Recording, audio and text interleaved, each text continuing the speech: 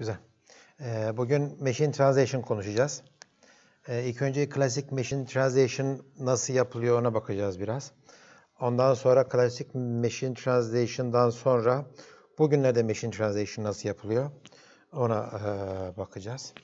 Ondan sonraki önümüzdeki problemlerle gidişat ne birazcık ona bakacağız. Esasında bu Machine Translation e, e, makina e, tercüme sistemleri NLP teknolojisinin kullanıldığı en sık kullanıldığı e, alan, belki de alanlardan bir tanesi.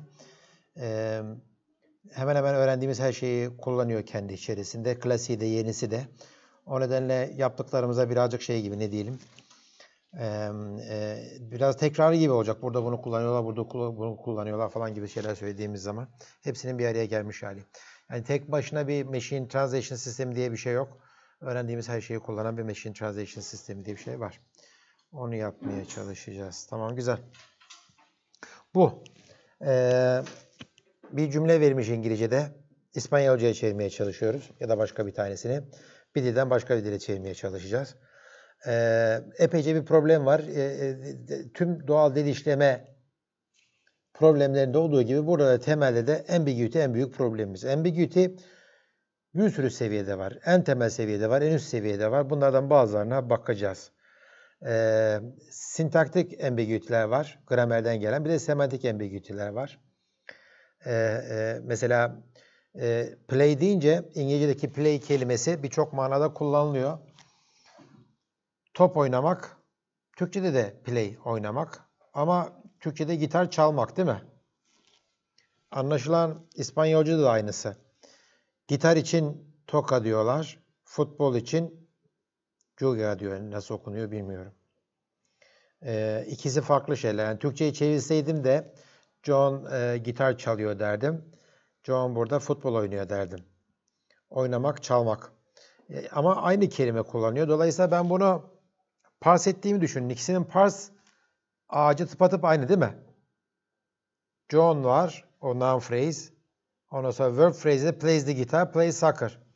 İkisi tıpatıp aynı e, e, pars trileri, pars ağaçları, çözüm ağaçları tıpatıp aynı ama farklı çeviriyorlar. Demek ki bu morfolojinin sintaksın üzerinde bir yerde farklılaşma var. Semantikte var.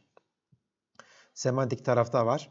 E, tabii ki e, morfolojileri farklı dillerin. Sintaksları farklı. Semantik yapıları farklı. Diskors yapıları falan farklı. Bunlar hepsini bir araya getirdiği zaman koskocaman bir tane yapay zeka problemi ediyor. Onları nasıl çözdüğümüze bakmaya çalışacağız. Genelde çok şeydir yani böyle ne diyeyim dalga geçerler e, Machine Translation sistemiyle. Böyle Google'a bunu çevirdim ha ha bunu dedi.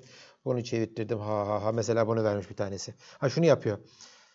Google'la ya da herhangi bir tanesiyle İngilizceden Rusça'ya, Rusçadan tekrar İngilizce'ye çeviriyor. Ondan sonra çıkan şeye bakıyor, cümleye bakıyor ne çıktı diye. İşte out of sight, out of mind. Hani Türkçe'de de vardır ya, gözden ırak, e, gönülden ırak falan filan derler. Onu Invisible Idiot olarak çevirmiş. Fransız şey Rusça'ya ve tekrar şey geldiği zaman Invisible. The spirit is willing but the flesh is weak. Ne derler? Yani e, e, aklın yeter, gücün yetmez gibi bir şey herhalde bu değil mi? Yani Türkçe'ye nasıl çevirirsiniz buna? Yani var istiyorum ama kas gücüm yok, kas yok. Hiç motivasyon var ama yani aklım yetiyor, gücüm yetmiyor gibi. Bunu şey Rusça'ya çevirip tekrar çevirdiği zaman the liquor is good but the meat is spoiled yapmış. Esasında flesh is weak, meat is spoiled. Spirit is willing herhalde onda bir likör falan filan bir işi gibi düşünüyor herhalde. Ee, garip şeyler çıkıyor. Tam burada yazıyormuş zaten. Ee, biz de genelde bunlara e, gülmeyi tercih ediyoruz. Olabilir. Ya, baktığı zaman işin içerisine böyle bir sonuç çıkması da çok da mantıksız falan diyebiliriz biz Machine Translation tasarımcılar olarak ama son kullanıcılar bu türlü şeylere tabii ki e, gülüyorlar. Komik geliyor. Kullanılmaz falan filan diyorlar. Word alignment denen e, şey işlem defalarca karşımıza çıkacak. Word alignment şu. Bu dildeki bu kelimeler diğer dildeki hangi kelimelere denk geliyor? E, gördüğünüz gibi burada one to one mapping yok. Her kelimenin karşılığı bir tane olacaktır diye bir şey yok. One to many, many to one olabilir. Bazı durumlarda şey bile yok. Ne diyelim? Karşıdaki kelime de yok yani. Mesela the'yı the, the Mary didn't slap the Greenwich şeyde geldiğin zaman Türkçe'ye çevirin bunu. E, Mary e, yeşil cadıyı tokatlamadı. Orada dığının denk geleceği bir kelime yok Türkçenin içerisinde. Belki de Greenwich'i yeşil cadı olarak üçünü bir yerden yapabilirsiniz ama yok. Word alignment problemi kolay bir problem değil. Ee, İngilizce ve İspanyolca gibi akraba dillerde word alignment'ta şu türlü çaprazlamalar fazla olmuyor. Ol, olsa bile küçük şeylerde oluyor. Ee, küçük ne diyelim e, e, miktarlarda oluyor. Hemen bununla bunun yeri değişiyor. Yani Türkçe tamlamalar, Farsça tamlamalar gibi, resmi geçit, geçit resmi gibi, yer değiştirme falan filan gibi. Ama bunu Türkçe'ye çevirmeye çalışmış olsaydım e, e, Mary didn't slap Greenwich Türkçe'ye çevirdiğim zaman Mary yeşil cadıyı tokatlamadı. Tokatlamadı ta en sona gidiyor dedim slap. Değil mi? Oradan oraya ta çizeceksiniz. Epeyce bir e, alignment şeyinde çizgiler çekilecek. E, birbirine çok fazla benzemeyen dillerde e, bu türlü alignment problemleri daha zor problemler. E, tabii alignment'ı yaptığın zaman doğru bir şekilde arta kalana işin kolaylaşıyormuş gibi geliyor ama arta kalan yapmadan alignment yapmak da kolay değil. Buna epeyce bir gelip döneceğiz, bakacağız. Alignment hakkında klasik e, machine translation'cılarda, derin öğrenmecilerde alignment hakkında bayağı bir konuşuyorlar. Hatta bu alignment'ı yapmaya çalışmadan e, e, derin öğrenme dünyasında otomatik dil tercümesi, çeviri e, güzel çalışmadı. E, translation quality esasında şey de bu. Yani yaptığımız iş ne kadar iyi, onu nasıl ölçeceğiz? E, bir o var translation quality'de. Yani yaptığım şey ne kadar doğru çalıştı, onu nasıl ölçeceğiz? Şu ana kadar yaptığımız sistemlerde part of speech tagging yapıyordum mesela. İnsanlara yaptırıyorum. E, ata bakalım diyorum. Bunları etiketler ata her bir kelimeye. İşte bu diyor fiildir, bu sıfattır, bu zarftır gibi şeyler atıyorlar. Sonra benim atadıklarımı bunları karşılaştırıyorum ama e, tercüme işine geldiğimiz zaman, tercüme işine geldiğimiz zaman insana tercüme et diyorum. Başka bir insana tercüme ettir diyorum. E, aralarında o kadar büyük fark çıkıyor ki part of speech tagging'de çok daha büyük farklar çıkıyor. Bilgisayara tercüme et diyorum. O da tabii ki farklı çıkacak. Farklı olması demek yanlış olduğu manasına gelmiyor. Kalite ölçmek zor onu söylemeye çalışıyorum. Ama e, bir şekilde ölçmenin yolunu bulmamız lazım. Bugünlerde e, bugünlerde kullanılan teknik şu. Yani edebi seviyede çeviri kalitesini yakalamak güç. Yani bir, bir, bir, bir e, güzel yazılmış bir romanı Türkçeden İngilizceye çevirmek için hala insanlar kullanıyor. Ama şöyle bir şey düşünün. Türkçe bir tane ürün piyasaya sürdünüz. Çok beğenildi. Almanya'ya ve Fransa'ya çıkarmak istiyorsunuz ürünü.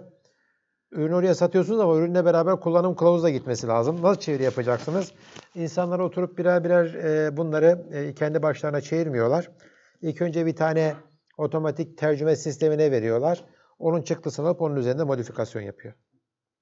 Yazılımlar da böyle yapılıyor. Diğerleri de böyle yapılıyor. Tabii o işi anlayan birisinin yapması lazım.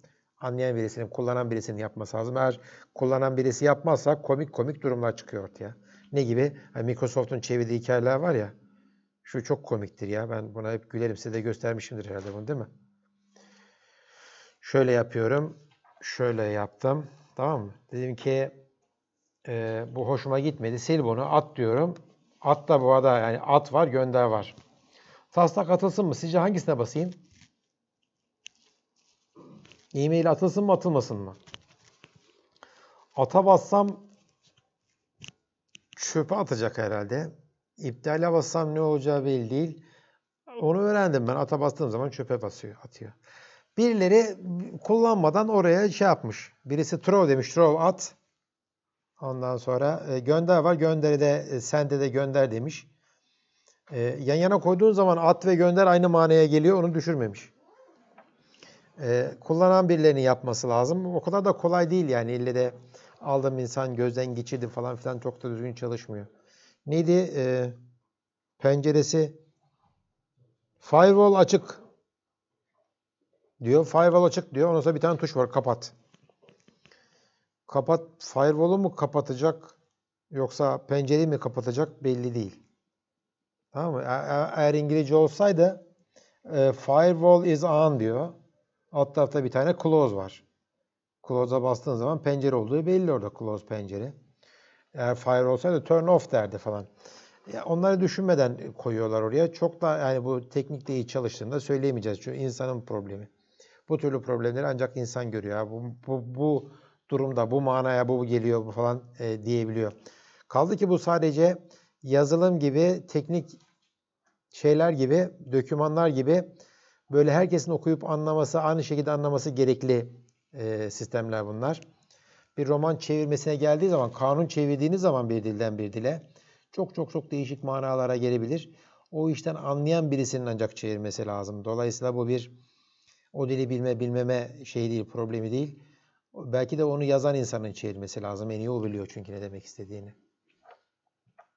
Tamam. Ee, başka ne problemler var? Ee, bizim gibi böyle e, e, aglutinatif dillerde problem var. Başka dillere çevirdiğin zaman morfoloji o kadar çok yükleniyoruz ki diğer dile çevirdiğin zaman gramer miramer olduğu gibi değişiyor. Ee, yapılarımız bizim kompleks verb structure'ı var. Dillerde problemler var. Subject, word, object. Tam İngilizce gibi. I go to school. Subject, go to, go, verb, to school, object değil mi? I go to school. Bazı dillerde subject, object, verb. E, subject, object, verb geliyor. Bir de verb, subject, object var. Arapça gibi. Türkçe şunlardan da ben okula gidiyorum. Ben okula gidiyorum. Efendim? Hayır ben okula gidiyorum Türkçe. Ben okula gidiyorum. Benden yani genelde e, bizim yüklemimiz şeyden sonra gelir.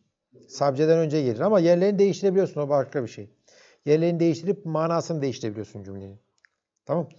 Bunlar mesela e, SVO'lar e, preposition'lar kullanıyor. Okula gidiyor. Yani ne? E, to go to school diyor. To school preposition var SVO'da İngilizce'de. Ama Türkçe gibi dillerde Türkçe gibi dillerde postposition'lar var. Okula diyorsun. Okuldan sonra geliyor yön, position. Sanki school to dermiş gibi. Tamam. Prodrop language'ler e, yani bir şey ben okula gidiyorum zor deriz biz birazcık okula gidiyorum deriz. Genelde sabcileri yutarız biz. E, öyle bir dilimiz var. Ve bu türlü şeyler e, ne diyelim e, machine translation'ı oldukça güçleştiriyor, işimizi kolaylaştırmıyor. Bu gibi diller arasında çeviri özellikle bayağı baştan yıkıp sonuna kadar düzeltmeye gerekiyor. Şu Şurada yaptığın hatalar genelde anlaşılabilir şeylerle sonuçlanıyor. İngilizce, Almanca, İngilizce, e, İspanyolca gibi. Ama Türkçe, İngilizce gibi, Türkçe, Arapça gibi birbirine çok yabancı dillerde bu problemler genelde manalı bir şeyle sonuçlanmıyor. Garip garip şeylerle sonuçlanıyor. Başka şeyler var. E, problemler var. Dillerin yapısı birbirinden farklı. Dillerde bazı kelimeler var, diğerlerinde yok. Bu çok sık verilen bir örnek. E, Fransızca'da iki türlü ırmak var. Birisi e, okyanusa akan ırmaklar, diğeri de okyanusa akmayan ırmaklar. Göle falan akıyor ya da başka bir ırmağa e, katılıp e, kayboluyor herhalde. E, ikisine farklı isim veriyorlar. İngilizce'de böyle bir ayrım yok. Almanca'da böyle bir tane kelime varmış. Schadenfreude. Başkasının kötü durumundan hoşlanmak. Türkçe'de ne bunun adı? Hainlik değil mi? Ha? Ha? Ya hayır deriz de değil galiba.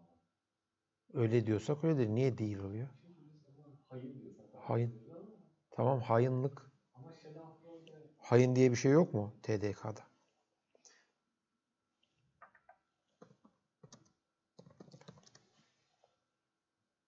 Ha, Türkiye Türkçesi ağızları sözünde Türk karam. Evet.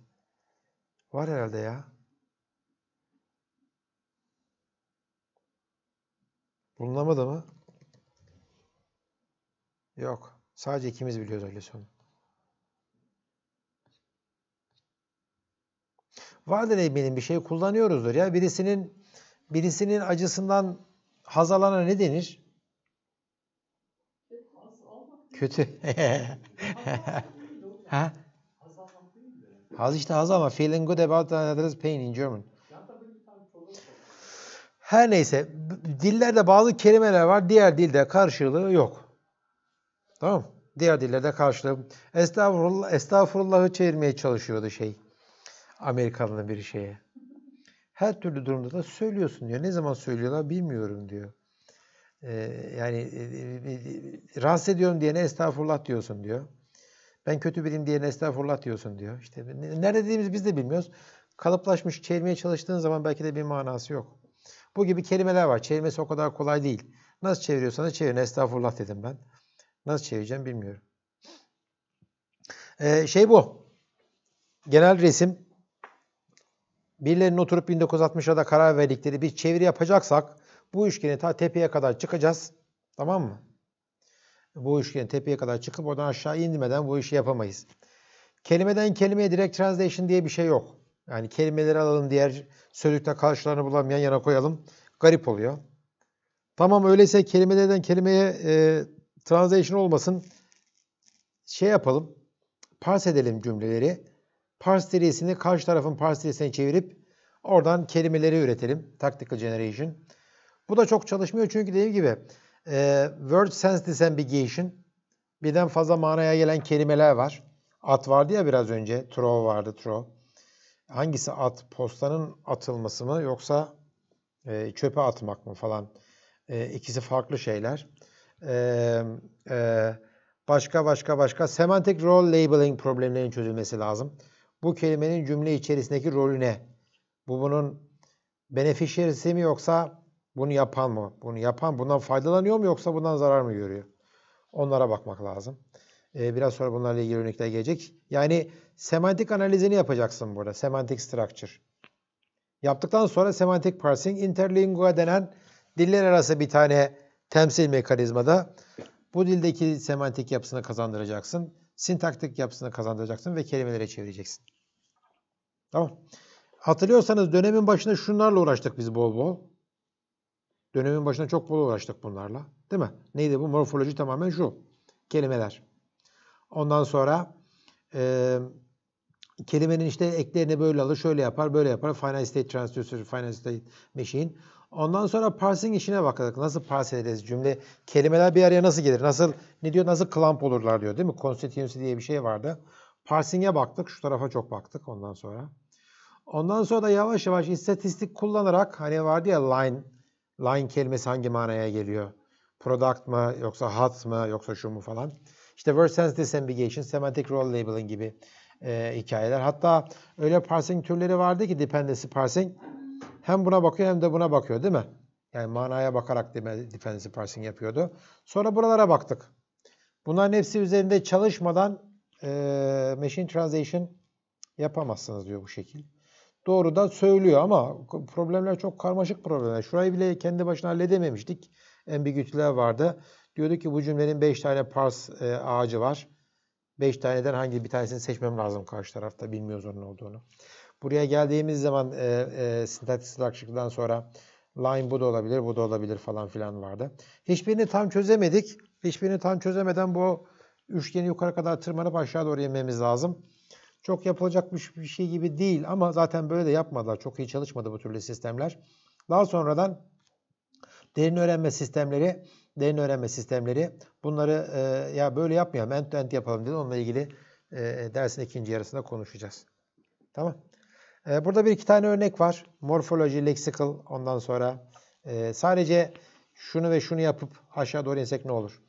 İşte Mary didn't slap the green witch. Bunu morfolojik analizini yaptım. Tüm kelimelerin kökleri ve ekleri. Bu esasında didn't demek do ve onun past hali demek. Tamam mı? Net var, slap, not slap the green witch. Lexical transfer yaptım. Bu, şu, do, not, bu. Ondan sonra e, e, past bunun buymuş. Yani slap darmış bunun past tense'ini yapacaksın. Slap şu gördünüz mü? Not slap herhalde bu. Şu üç kelime ona denk geliyor. E, the la herhalde. Bu da green böyle garip bir kelime. G, G, G yok içerisinde. Which de buymuş. Sonra diye karşı dilde lexical reordering yaptım. Bunda bunun yerini değiştirdim. Onlar anlaşılan yeşil cadı demiyor da cadı yeşil diyorlar. Arapçada öyle herhalde. Türkçede öyle yeşil cadı diyoruz biz. Ondan sonra bunu morfolojik olarak generate etti. Üst katlara çıkmadan ancak böyle yapabildim. Böyle yaptığım zaman her zaman yine fena bir sonuç çıkmadı. Ee, insan çevresine benzeyen bir sonuç çıktı. Böyle yapmadan yapabilir miyim İngilizce ve İspanyolca arasında? Hayır. Bununla ilgili epeyce bir problem var ama direkt transfer deyince buradan yani şu üst taraflara çıkmadan, parse bile etmeden yaparsanız bazen bu türlü sonuçlar alabiliyorsunuz. Ama bu türlü sonuçlar dediğim gibi çoğu zaman garip çevirilere yol açıyor. Tamam sintaktik transfere geldiğimiz zaman yani morfolojinin üzerinde, kelimenin üzerinde sintaktik transfere geldiğimiz zaman yapacağımız şey e, burada şanslıyız. Niye? Çünkü e, e, subject verb SVO dili ikisi de bunların. Subject verb object. Subject subject verb object. İkisi de SVO dili. Ama eğer SVO'dan SO'ya falan filan geçiyorsak kesinlikle e, şey yapmamız lazım. E, e, e, parse etmemiz lazım.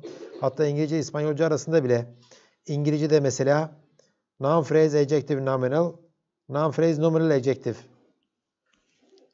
birbirleriyle yerlerini değiştiriyorlar. Neydi işte orada şey vardı. Yerlerini değişiyordu ya. Greenwich, Verde, Verde, Bruja. Nasıl okunuyor? Y, y okuyorlar herhalde. Buraya mı okuyorlar bilmiyorum. Ee, başka proposition'lar da yine böyle ters çeviriyorlar. Tamam. Semantik transferde de mesela bu güzel bir örnek. Ee, şimdi fiillerden sonra gelen propositional phrase'ler var. Propositional phrase'ler. Mesela I go to school diyorsun. Go to school.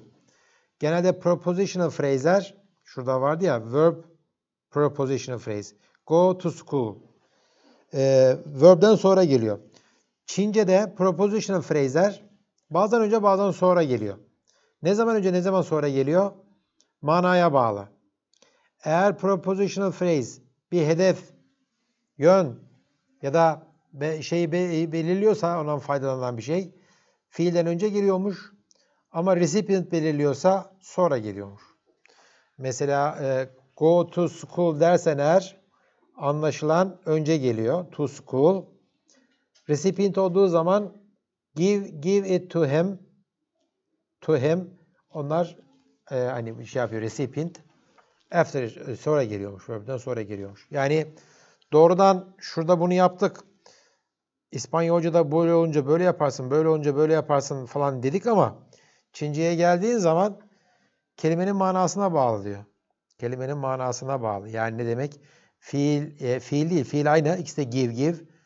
Preposition eğer şunlardan birisi ise sonra gelecek, onlardan birisi önce gelecek. Kim gibi oluyor yani? Efendim? Kim gibi oluyor? Anlayamadım. Tuhim gibi oluyor. E, recipient oluyor. Evet. To give it to him recipient oluyor. E, ama şey olduğu zaman e, mesela e, e, o zaman after geliyor ama goal olduğu zaman, hedef olduğu zaman, destination olduğu zaman tamam mı? To school gibi destination olduğu zaman önce geliyormuş. Adamların söyledikleri ben Çince bilmiyorum. Türkçe'de Türkçe'de bizim e, şeylerimiz e, pro, e, S, S, SOV dil olduğumuz için biz e, e, ne diyordu? SOV'de preposition'lar sonuna eklenir diyordu şeyin. Okula. Okula gidiyorum. Ben okula gidiyorum. Sonra eklenir diyordu. Başka bizde preposition önce yani yön yani ismin ekleri var ya de, e, de, dan falan filan. Hepsi sonuna giriyor. Başına gelmiyor. Tamam. Ee, tüm bunların hepsini kurallara dayalı yapmak o kadar kolay değil. Statistik istatistiksel e, makine çevirisi e, kullanılan yöntemler. Derin öğrenme türü sistemler de istatistiksel makine çevirisi ama derin öğrenme sistemlerinin iddiası şu. Bir uçtan İngilizce vereceğim, öbür uçtan Fransızca çıkaracağım. Arada ne oluyor, ne bitiyor? Derin öğrenme sisteminin problemi. Statistical Machine Translation bunu yapmaya çalışır. Çalışır da herhalde güçleri yetseydi ama buna gücü yetmiyor. Diyor ki bir yere kadar Statistical Machine Translation arta kalanı diyor. Bizim gramerlerimiz falan olacak. Gramerlerimiz falan olacak. O nedenle Statistical Machine Translation'da da e, istatistiksel makine çevirisinde de bize paralel korpus lazım ya da bytext diyorlar buna. Aynı cümleler, aynı cümleler iki dilde ifade edilmiş. Ya birileri oturup bunu çevirecek, bu cümlenin karşılığı bu, Bunun karşılığı bu. Bunun karşılığı bu diye. Daha önce size bir tane örneğini göstermiştim herhalde değil mi? Şu. Open File Location'dan Ha tamam yok ben ona bakmayacağım ya. Şurada Notepad yazınca Notepad de açıldı zaten o herhalde. Notepad işte burada. Bunlar İngilizcesi, onun karşılığında Fransızcası. Bunun gibi bir dosyada 170 bin tane cümle var. Is there something you want to Is there something you want to say? Bu? Bu zaten demo şey bu. Yani ben bunu e, Keras'ın bir demosundan indirdim. İleri doğru daha karmaşık cümleler var. Şu. Hatta cümleden de fazla bunlar. Ama en uzunu en fazla işte şurada. Şu kadar gibi. 168 karakter falan. En, en uzunlardan bir tanesi o. Diğerleri kısa. Bu karakter tabanlı bir şey içinde. Bunu sadece şey için gösteriyorum ya. Mesela şurada şey yazıyor.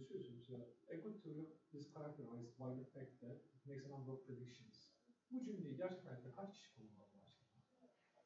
Bu cümle gerçek hayattan alınmış cümleler ya. Yani kitaptan ya da bir ekstra alınmış. Ee tamam.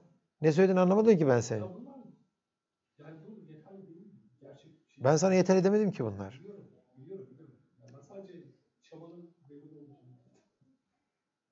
Eğer yani şimdi genelde biz her- her- herhangi bir şeyle durumda oyuncaktan başlayıp ileriye doğru gitmeye çalışırız. Yaptığın şey oyuncakları çözemiyorsa ileri doğru konuşmanın bir manası yok. Bunun üzerine çalışması lazım. Tamam. Şimdi diyorsun ki ya bu çok basit bir veri kümesi. Daha karmaşık veri kümeleri var mesela. En sık kullanılan bir tanesi şu. Kanada parlamentosu 100 yıldır, yüzlerce yıldır, kaç yıldır bilmiyorum Kanada kaç yıllık bir şey hükümet. e, tüm kanunlarını hem Fransızca hem İngilizce çıkarıyor. Birileri oturup ikisini yazıyor. Tüm e, meclis tutanakları hem Fransızca hem İngilizce çıkıyor. Öyle olmak zorunda. Çünkü iki tane resimli dilleri var. Sadece Fransızca'da yaptık, sadece İngilizce'de yaptık falan filan demiyorlar. Birilerinin oturup bunları yapması lazım. Dolayısıyla bizim için bir tane paralel korpus hem de senin beğenmediğin türden var. Kaç kişi oturup bunu yazar diyorsun ya. Kanadalılar oturup yazıyor. Ya da böyle paralel çıkan gazeteler, dergiler falan var. Böyle 20 yıldır, 50 yıldır, 100 yıldır çıkanları var. Araplarda falan var bir iki tane şey öyle e, dergi var sürekli. İngiliz şeyinden sonra, işgalinden sonra hem Arapça hem İngilizce çıkarmışlar.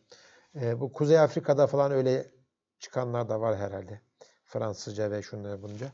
Her neyse ansiklopediler var. Alıyor. Türkçesi var. Meydan Larousse biliyorsunuz değil mi? Larousse denen ansiklopedi hem Fransızca hem e, Türkçe. Aynısını yapıyorlar. Bizimkiler onun üzerine meydan tarafını kurmuşlar. Meydan Larousse hala duruyor mu acaba? Var mı? Ne var sende? Meydan Larousse ansiklopedileri duruyordur tabii. Ben firma duruyor mu diyorum. Bir işe yarıyor mu?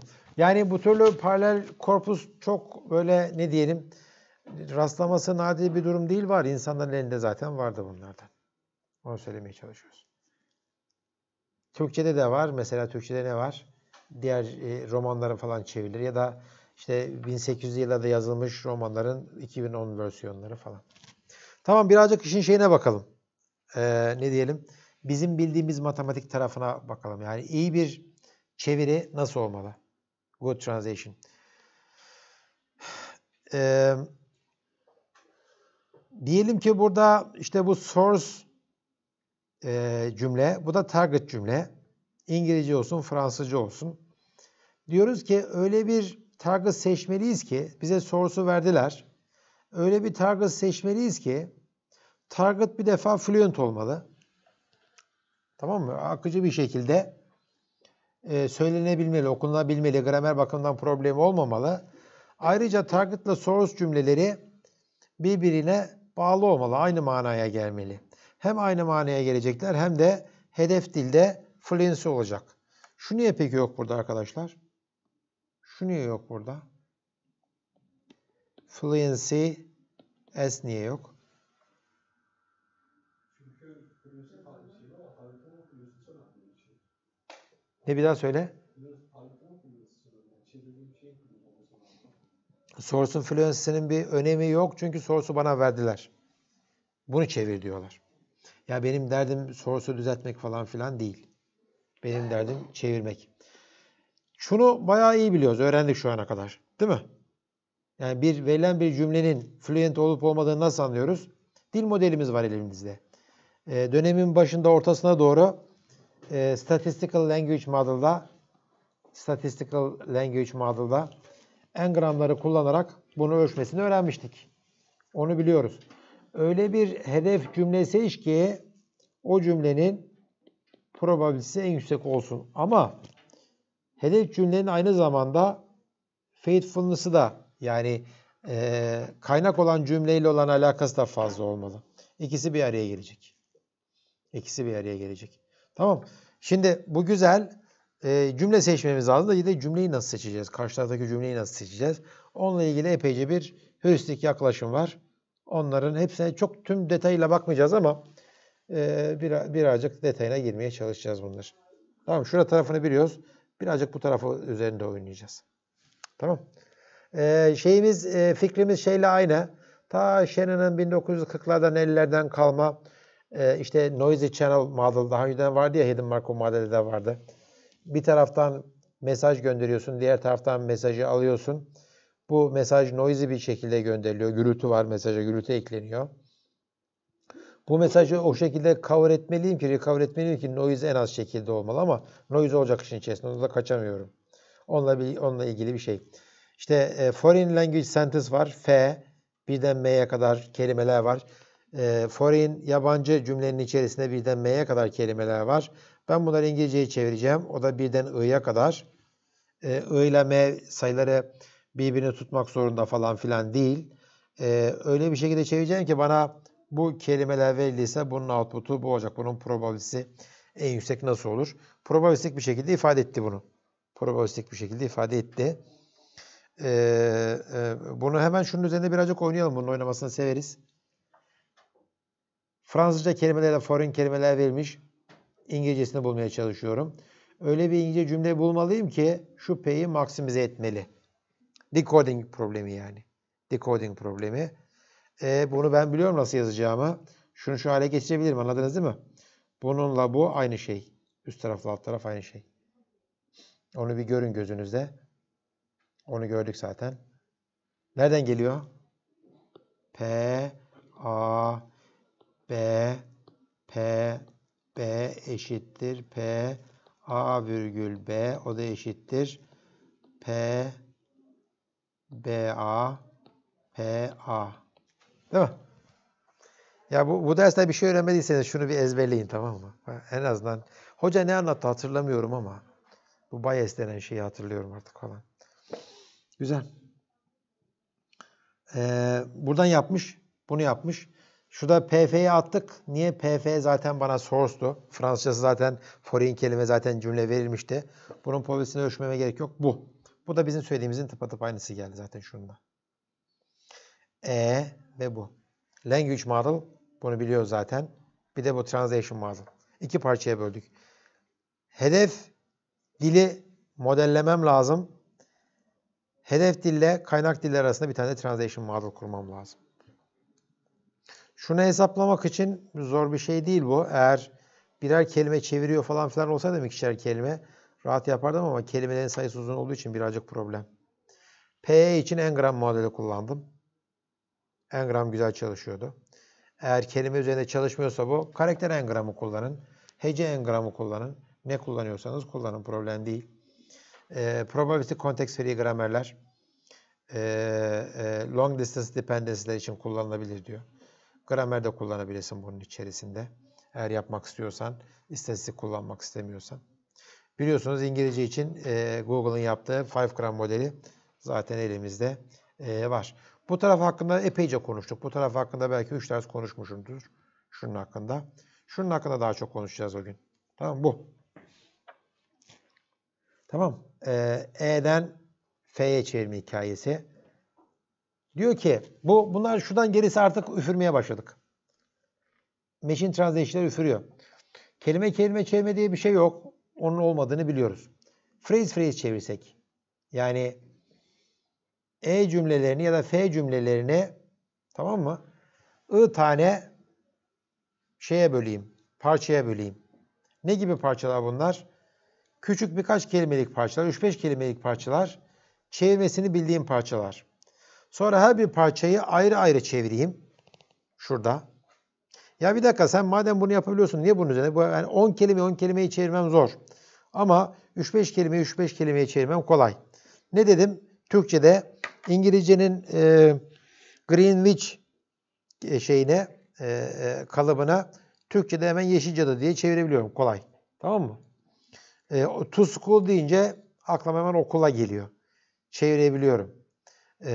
Başka şeyler işte e, masanın masanın üzerindeki kalem, masanın üstündeki kalem. Çevirebiliyorum bunları küçük küçük frezleri. Çevirmek o kadar zor değil. Çünkü bunlar frezler. Frezleri çevirmesini biliyorum, becerebiliyorum. Üstelik bunların üzerinde istatistik de toplayabilirim ben. Çünkü üçer kelime olduğu için daha önceden birileri tarafından söylenmiştir bunlar. Üç tane kelime olduğu için. Ama eğer 10 kelimeyi 10 kelimeye çevirmiş olsaydım, çevirmeye çalışsaydım o 10 kelimenin bir araya geldiği, toplandığı yerleri bulmam zor olurdu.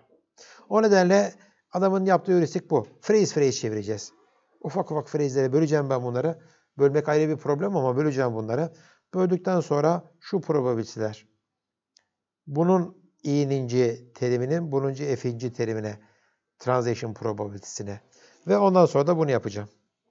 Birden i'ya kadar birden i'ya kadar buradaki phrase'leri buradaki phrase'lere çevirme probabilitelerin hepsini çarpıyorum birer birer. Anladınız mı? Ondan sonra ondan sonra diyorum ki iyi de diyorum bu phrase'leri yan yana çevirip yan yana koyduğun zaman bu çeviri olmuyor ki bunların yerleri değişmesi lazım bazılarının. Bu da distortion probability'si. Değerleri değişecek ama deli gibi de değişmeyecek. Distortion probability'si. Distortion probability'nin ne olduğunu bakalım. Anlamadın mı dedin? Ne yapayım bekleyeyim mi yoksa konuşayım? Anlamanı bekleyeyim mi yoksa devam edeyim mi? Bu adam olmadan dersin tadı olmuyor ya.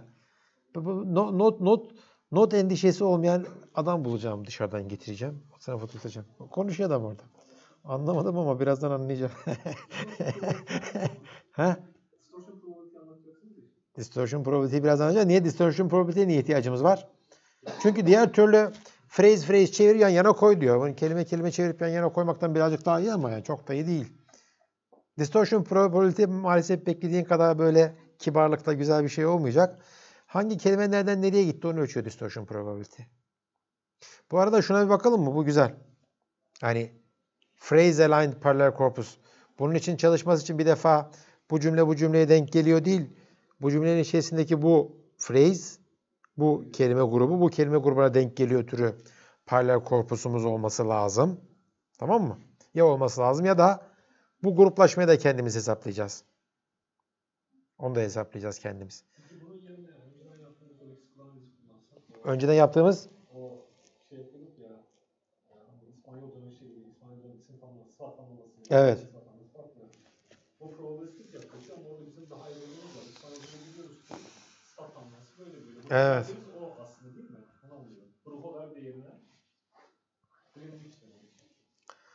E, bu- buradaki derdimiz şu, direkt transfer bu işte çalışmayacak. Direkt translation, kelime kelime her birinin yerine başka bir şey koyduğun zaman çalışmayacak. Biz bunu phrase'lere bölelim. Phrase'lerimiz daha önceden gördüğümüz phrase'lerden olsun. Phrase'ler küçük olduğu için görme ihtimali fazla. Bu mesela The Greenwich grubunun Yeşil Cadı grubuna çevirme ihtimaline ben bunları kaç defa yan yana gördüm? Değil mi? Ve toplam görme miktarı. Kaç defa böyle kelimeler bir araya geldi? Bunu buna bölürsen, bölersem ben eğer, şimdi şunu esasında şu doğru değil ya. Şurası doğru değil. Şunu F üssü yapayım ben arkadaşlar. Bunu da F üssü yapayım. Tamam. Olabilecek tüm F üsleri içerisinde F bar kaç defa olmuş? Bunu bulmaya çalışıyorum.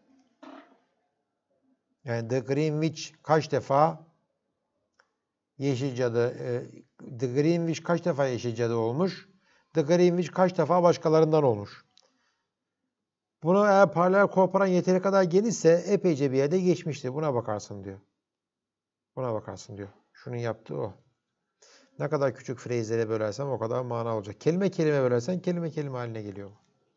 Ama kelime kelime çevirmek ee, mantıklı bir şey değil. Bir sürü problem çıkıyor. Phrase phrase çevirdiğin zaman o problemler azalıyor. Bitmiyor ama azalıyor. Translation probability'si bu. Distortion probability'ye bakalım. Distortion probability'si diyor ki her bir kelime olması gerekli orijinal cümlenin içerisinde olduğu yerden diğer tarafta nereye kadar gitmiş. Şurada bir tane örnek var esasında. Bu. Mary buraya Maria olmuş. Bu böyle olmuş. Bu böyle olmuş. Ee, esasında A'yı eksi e, B, B, I eksi 1. Hepsi 1, 1, 1 geliyor ama şurada diğerlerini değiştirmişler. Şurada 2 olacak ya. Bu niye 1? Şurası 2. Yer değiştirmiş. C'de şurada bir tane katsayı. C katsayısı bize e, distortion'a ne kadar ceza vereceğimizi falan söylüyor. Burada gördüğünüz gibi kelimeye bağlı değil buradaki hikaye. Sadece yerleri ne kadar değişmiş ona bakıyor. AI burada e, EI'nin pozisyonu BI eksi 1 de karşı taraftaki onun pozisyonu. Assume the probability of a distortion decreases exponentially. Ne kadar uzağa giderse alfa üzeri kadar alfayı da 1 0 1 arasında seçiyorsun. Diller arasındaki bir özellik gibi. Çok çok çok basite indirgemiş. Yani şu kelimenin ve phrase'in ne olduğuna bağlı diye görüyor musunuz? Yani halbuki İspanyolca İspanyolca ile İngilizce arasında eğer fiilin yeri çok değiştiyse kötü. Ama isim tamlamaların yerleri değiştiyse fena değil olabilir diyebiliriz belki. Tamam. Böyle bir tane şeyimiz var. E, yapımız var. Bunların hepsi yine word alignment getiriyor bana. Word alignment'ın olması lazım. Birazcık word alignment hakkında konuşalım. Word alignment'ı çözelim sonra devam edelim. Fark etmişsiniz. Ben de söyledim. O çok takip edilecek bir yöntem değil. Belki Word Alignment'la beraber diğerlerinin aynı olması lazım. O bir. İkincisi başka bir problem de şu. Bana kaynak kaynak dilin cümlesi verildiği zaman onun içerisinde kaç kelime olduğunu biliyorum ama hedef cümlede kaç kelime olacağını bilmiyorum. 10 ee, kelimeyi 15'e de çıkarabilirim. 6'ya da düşürebilirim. Bilmiyorum. Çoğu zaman bunu deneyerek bulmaya çalışacağım. Karşı tarafta 6 kelime olmuş olsun, 7 olsun, 8 olsun. Dil modellerini birer birer onların üzerine deneyerek bu cevabı bulmaya çalışacağım. Word Alignment'ta birazcık öyle çözülecek. Deneyerek yapacağız. Arama yapacağız karşı tarafta. Çok büyük bir uzayda arama yapmaya çalışacağız. Alignment'ı doğrudan insanların yaptığı alignment'a bakarak istatistiksel olarak e, öğrenmeye çalışabilirim. Ya da unsupervised bir şekilde expectation maximization. Bu böyle olursa, bu böyle olursa benim probabilitelerim ne olur? Onun üzerinde çıkarım yapmaya çalışabilirim. Word alignment böyle bir şey. Ee, Word alignment birebir değil. Birebir değil. Ee, 1'e n, n'e 1 olabilir. Ama biz e, şöyle bir şey yapacağız. One to many alignment. Typically assume each word in F aligns to one word in E. One to many alignment yani. To simplify the problem e, ne demek one to many? Bazen denk gelmeyecek oraya. O zaman null gibi uyduruktan karakterler, kelimeler falan koymaya başladık. Şunun karşılığı yok. Ona null dedik mesela. One to many'yi kurtarmaya çalışıyoruz. One to many'nin bazı avantajları var çünkü. Bazı avantajları var. Alignment can be specified by a vector A giving for each word f an index of the word in E which generated id. Tamam mı? e, ne yapıyor? Her bir f için bir tane ne, ne olacak burada? Alignment işte bu. 1, 2, 3, 3, 3, 0, 4, 6, 5. Bunu zaten vermişlerdi bana. Bu bir tane alignment vektörüm oldu. Benim alignment vektörüm oldu. Onun bulunması lazım. Adamların birileri IBM'de oturmuşlar. 93'te yani bu çok uzun bir zaman önce değil. Derin öğrenmeden önce çalışan en iyi sistemlerden bir tanesi. Ee, bir tane Statistical Machine Translation System yapmışlar. Bundan önceki sistemler e, istatistiğe dayalı olmayanlar da oradan benim size gösterdiğim üçgen vardı ya yukarı doğru aşağı inmeye çalışanlar. Oyuncak oyuncak problemlerin daha ilerisine gitmemiş. Bu birazcık e, e, işte ben genelleşebilirim. Verim olsaydı daha iyi yapabilirdim diyebilen bir e, sistem. Söyledikleri şey bu. Simple Generative Model bana şeyleri veriyor. İngilizceleri veriyor. Onlardan Fransızcalar üreteceğim. Da foreign sentence söyleyeceğim. Bir, J'ye karar ver. I zaten belli. I tane kelime var İngilizce cümlede. J'ye karar vermem lazım. J'ye karar vermek de o kadar kolay bir şey değil. Bilemiyorsun. Bir tane J seçtim. Choose diyor.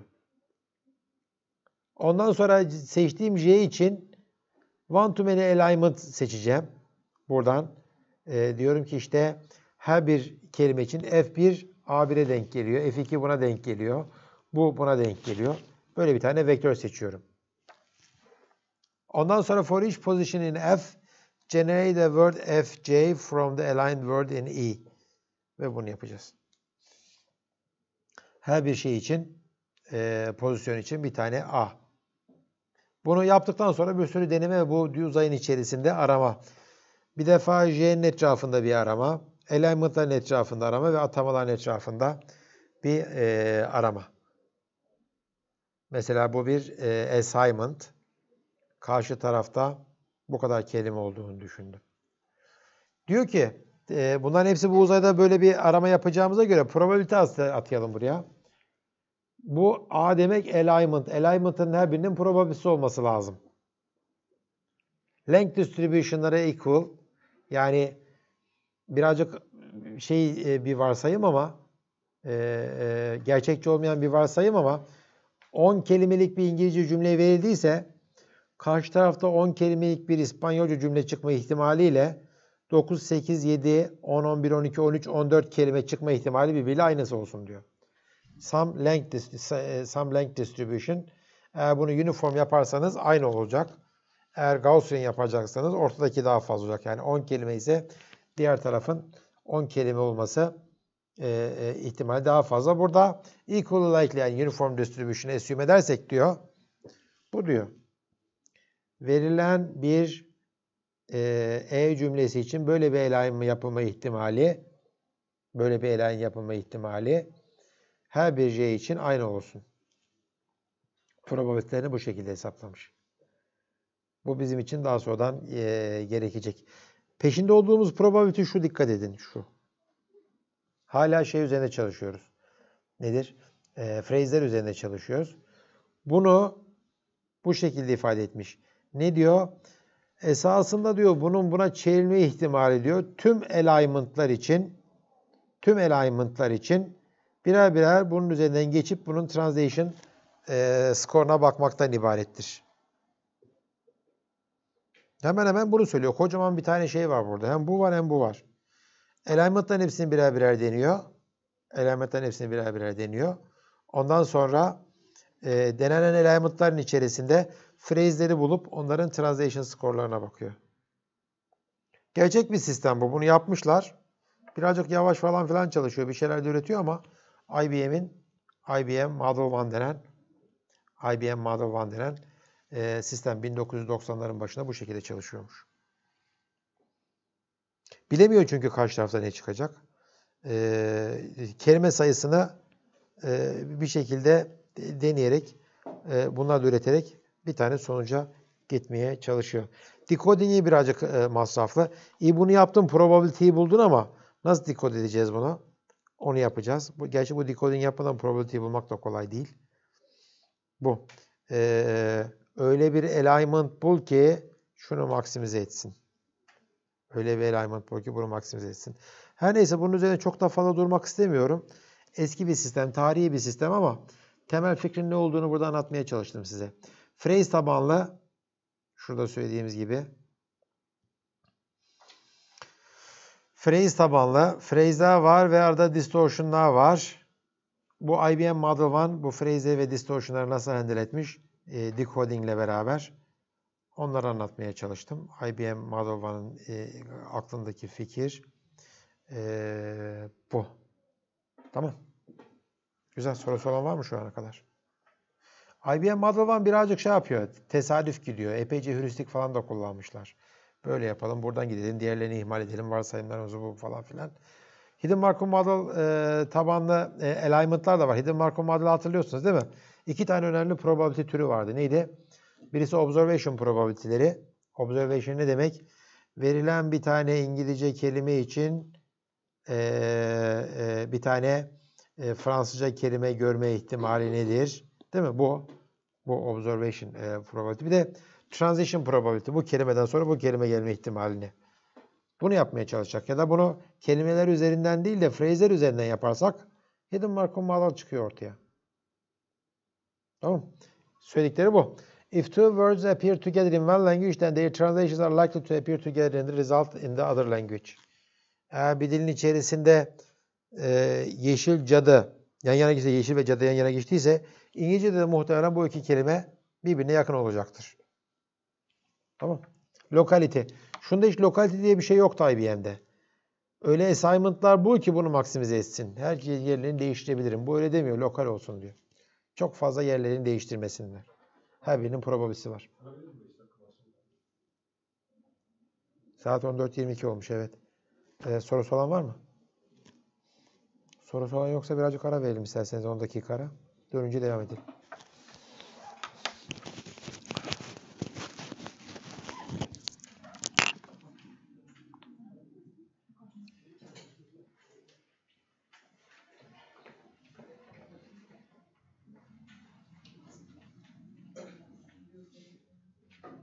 Hocam pilim bitti pilim var mı? O kadar kalın incesinden var evde ya. Herkes ilgisine var birader. Hocam on numara bilmiyor musun? var, ama birisine borç verdin demek gibi bir şey. Ben birinci ödülde nasıl var mı?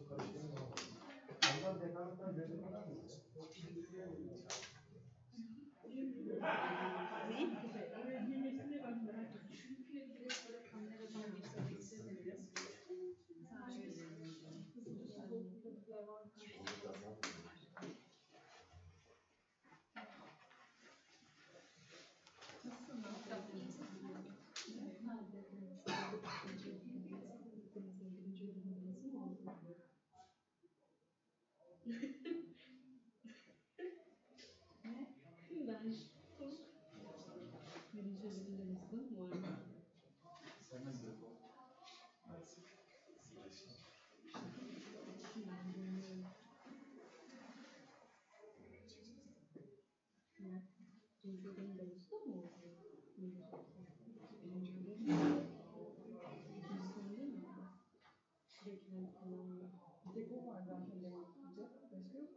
Birinci ödevde vardı. Herhalde Nadia not İkinci ödev sunum mu? Üçte yeni var dün mü? Dün yani çünkü. Daha var sürekli. Şey aslında şey oluyor. De diğeri de başlıyor. Kullanılması. Bu kadar aslında. Bir mi paper'dı? Evet. İşte. Benim korkacak o işin herhalde. Galiba bir paper'dı. Demosuna demo tarihi vermedik kadın tarafından. Ne duyurusu var ne dersi söylüyor.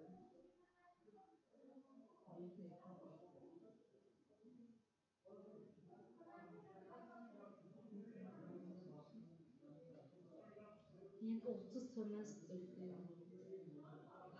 Hem de orta semester değil mi?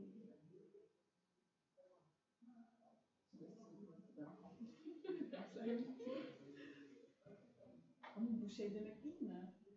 Hani her an olabilir. Demo için hazırlıklı olun. You can pay your money. Ben öyle sanıyordum da hani şey gibi, sunumda yazdığı gibi de böyle, sunumda yazma böyle bir şey. Hem de ne de bakıyorsun? Bilmiyorum ki. Yani benim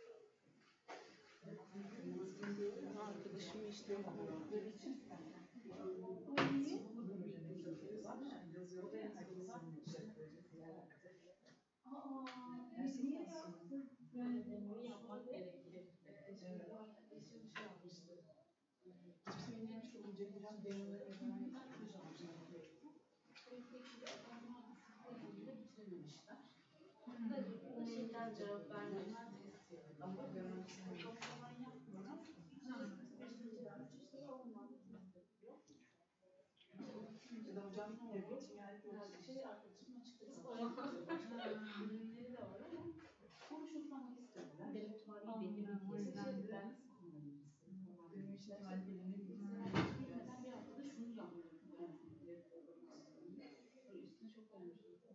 Ben ödevini hepsini bir tane ama yapacağız. Çok mantıklı olan da o değil mi? Hayır. Ben bir tane daha ödev verecekmiş. Bence öyle Ne? Şey işte şöyle bu bir kurguya var şey. insan psikolojisini bozuyor. Psikolojisi artık çok şey düşünüyorum ediyorum. Bu travmayla ödevi Evet. Dışlaşma göz almayı her şey yapacağım. Çocuklar yazmışlar değil mi? Ben sana söyleyeyim. Şunu istemek yapmak istedim. Hatta ben de bunu düşündüm. Bir de iş arayışında neden ayrıldılar? Bunun yapmadık. Birazcık daha çok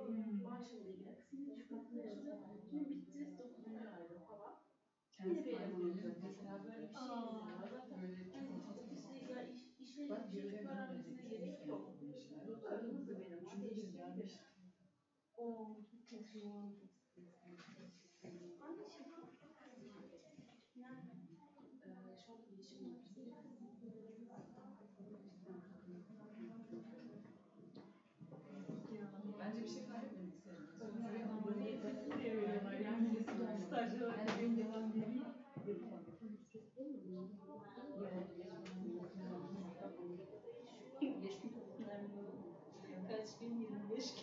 Keşke. Keşke. Keşke. Keşke. Keşke. Keşke. Keşke.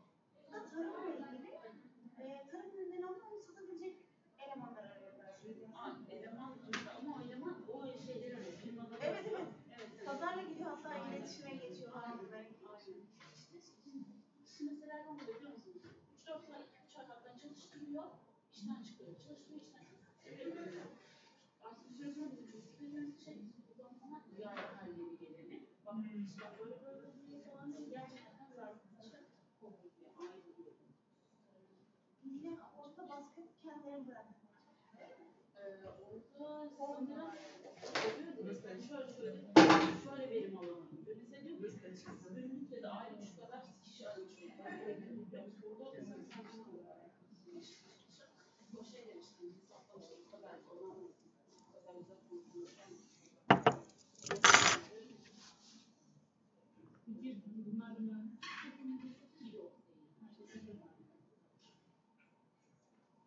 Şeyleri de yok.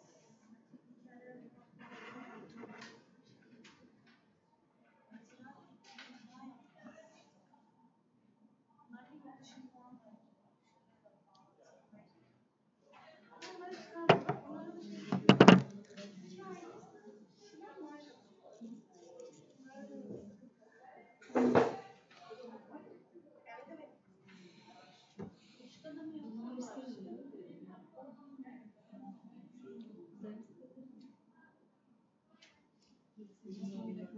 Evet, evet.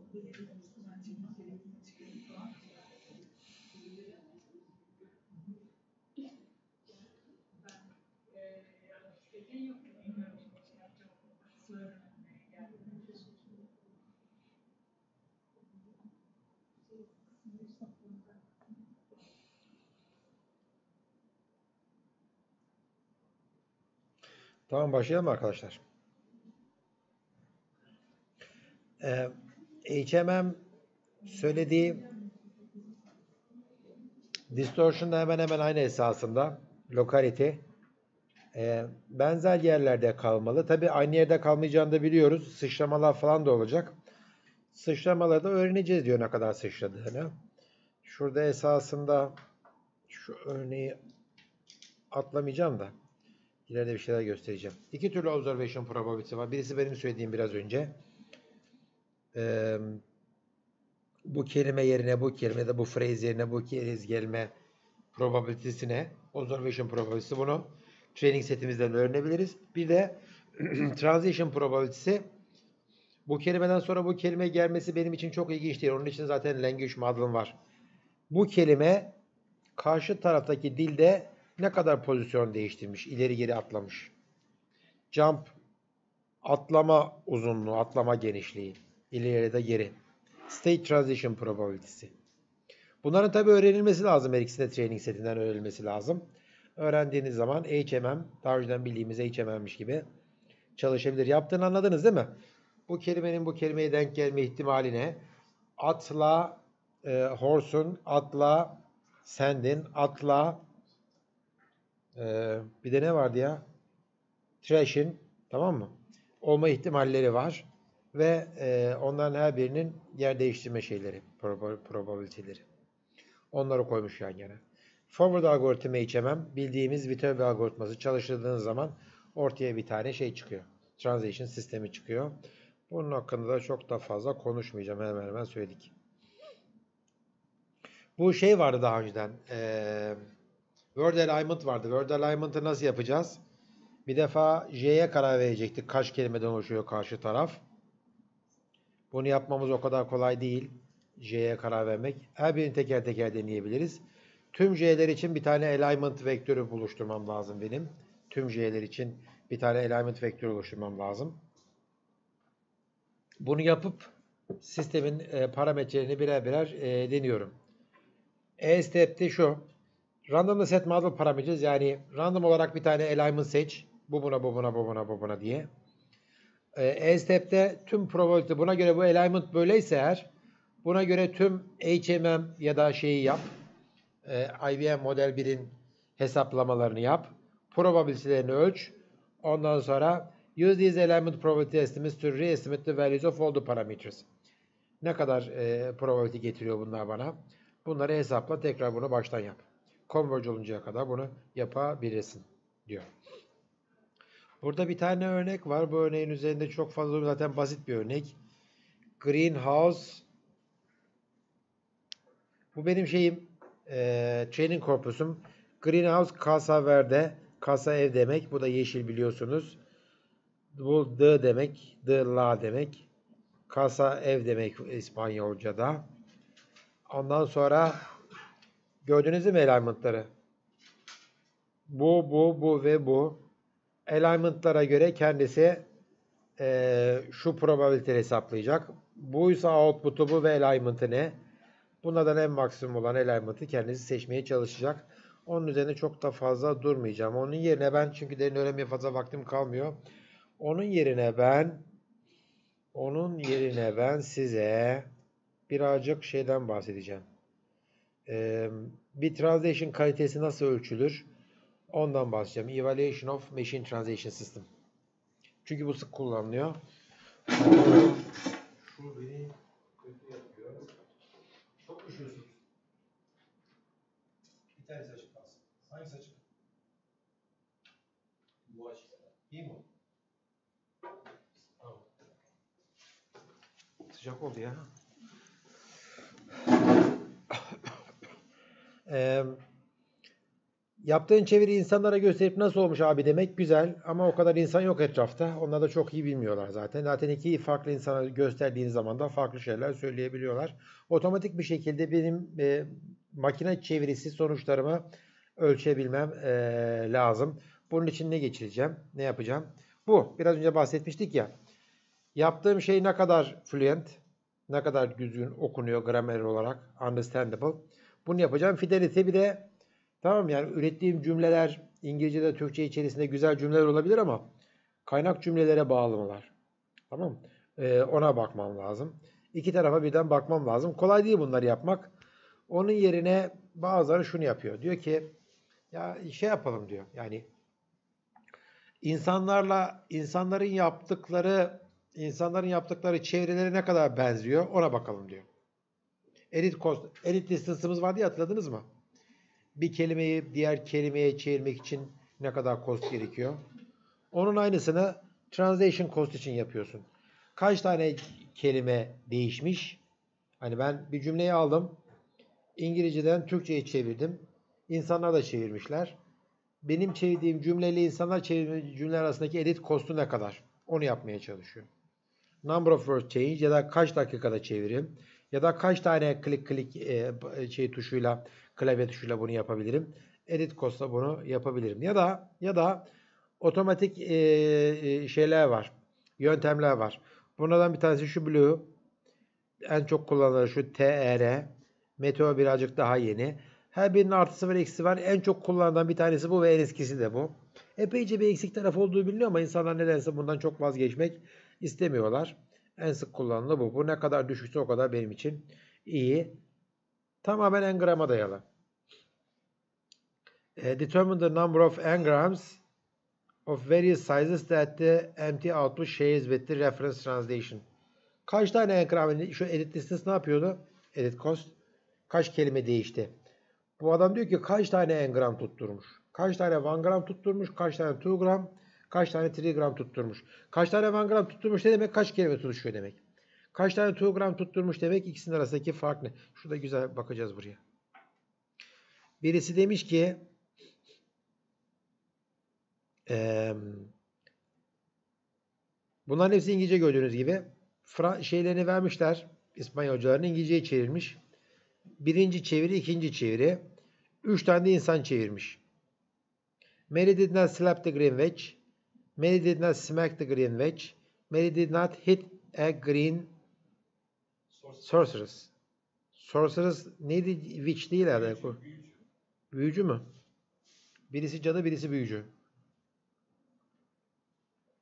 Tamam. Bunların arasına baktığım zaman Unigram Precision'da kaç tane? Mesela bu e, içinde zaten 1, 2, 3, 4, 5, 6 tane kelime var. 6 kelimeden e, bunların arasına baktığım zaman 5'ini tutturmuş. Bunların içerisinde hiç no geçmiyor ya. Bu no tutmamış sadece. Dolayısıyla Unigram Precision olarak 5 bölü 6. Ne diyordu Blue? Blue? En gramlara bakın diyor. 1 grama baktım ama 2 grama bakmadım hala. Tamam mı? Bu ne? Bu by gram, 2 gram e, şeyi. Probability'si. Merino'yu göremiyorum. No slap göremiyorum. Slap the bir defa var. The witch. The witch var mı hiç? The witch yok. The green witch var hepsinde. Witch green'de yok. By gram precision'ı 1 bölü 5. Niye 5? 5 nereden geldi? 5 tane gram var. 5 tane two gram var. Merino, no slap, slap'te the witch, witch green. Değil mi? Bu. 5. Peki 3 gram var mı? 3 gram slap'te witch, slap'te yok 3 gram yok herhalde. Sıfır tamamen ha. Kennedy Two'nun e, Unigram Precision'da 7 bölü 10. Kennedy Two'nun 1 gram Precision'ı neydi? Yoktu herhalde ya. Vermemiş. Kennedy Two'nun e, e, şeyi 2 gram e, Unigram Precision'ı 7 bölü 10. Niye? Çünkü Mary did Mary did var. Did not var. Not give var mı? Yok. A smack var. Greenwich var. Olabilecek tüm e, 2 gramlar arasında 7 tane. Tamam. E, 2 gramı da hesapladık. Ondan sonra kendi türünün by gram kendi türünün uni pardon. Bu kendi türünün by gram unigram şeyi bu. 1 gram precision 7 bölü 10. 2 gram precision'da 4 bölü 9. Mary did not did not a green ve Greenwich. 4 bölü 9. Dolayısıyla bunları hesaplarsam kendi birin tüm şeyleri bunu bunların hepsinin şeylerini alıyorsun. Geometrik ortalamasını alıyorsun. Geometrik ortalamak demek bunların hepsini çarpıyorsun ve en, en dereceden kökünü alıyorsun. Uh ben bunu takmamışım. En dereceden kökünü alıyorsun. Bununkisi bu çıkmış. Bununkisi de bu çıkmış. Ee, en güzeli ne çıkardı? 1 bölü 1, 1 bölü 1, 1 çarpı 1 hepsi 1 ederdi. Bir, ne kadar 1'e yakınsa o kadar iyi derdik blue skorları. Ne kadar şeyse o kadar iyi derdik. Güzel. Blue skorları bu şekilde hesaplanıyor. E, blue skoru şeyi hesapladığı için de şeyi düşünün. Blue skorunu yüksek çıkarmanın yolunu söyleyin bana. Üçkağıtçılık yolunu söyleyin.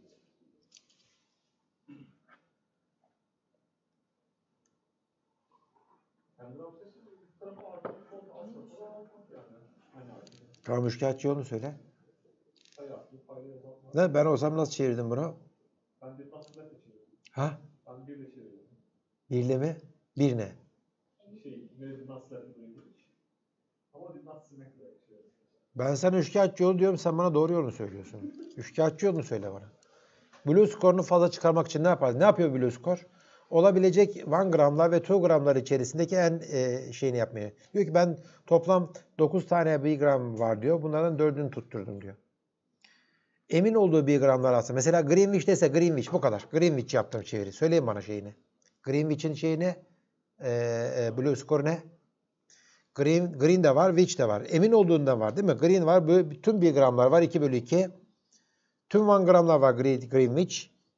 Değil mi? O da 1 bölü 1. Mükemmel. 1 çarpı 1 blue skoru. Söylemeye çalıştığım şey şu. Fazla lafı uzatma. Sadece emin olduğun sadece emin olduğun 1 gramları, 2 gram, 3 gramları output edersen blue skorunu kandırabilirsin değil mi? Kısa cümleler yap. Kısa cümleler emin olmadığın kelimeleri üretme. Senin çok umrunda olmaz. Tabi bunu engellemek için adamlar brevity penalty diye bir şey söylüyorlar. Tamam. Ee, use a penalty for translations that are shorter than the reference translations. Tamam. Eğer diyor yaptığın translation çok kısaysa reference translation'dan şunlardan o kısalıklar için bir ceza vereceğim ben sana. Eğer uzun ürettiyse mesela buna ceza vermemiş gördünüz mü? Brevity penalty'ye. Yani eğer senin ürettiğinin kelime sayısı referanstan daha fazlaysa ona ceza, ceza vermemiş. Niye? Çünkü onun cezasını engramlar verecek.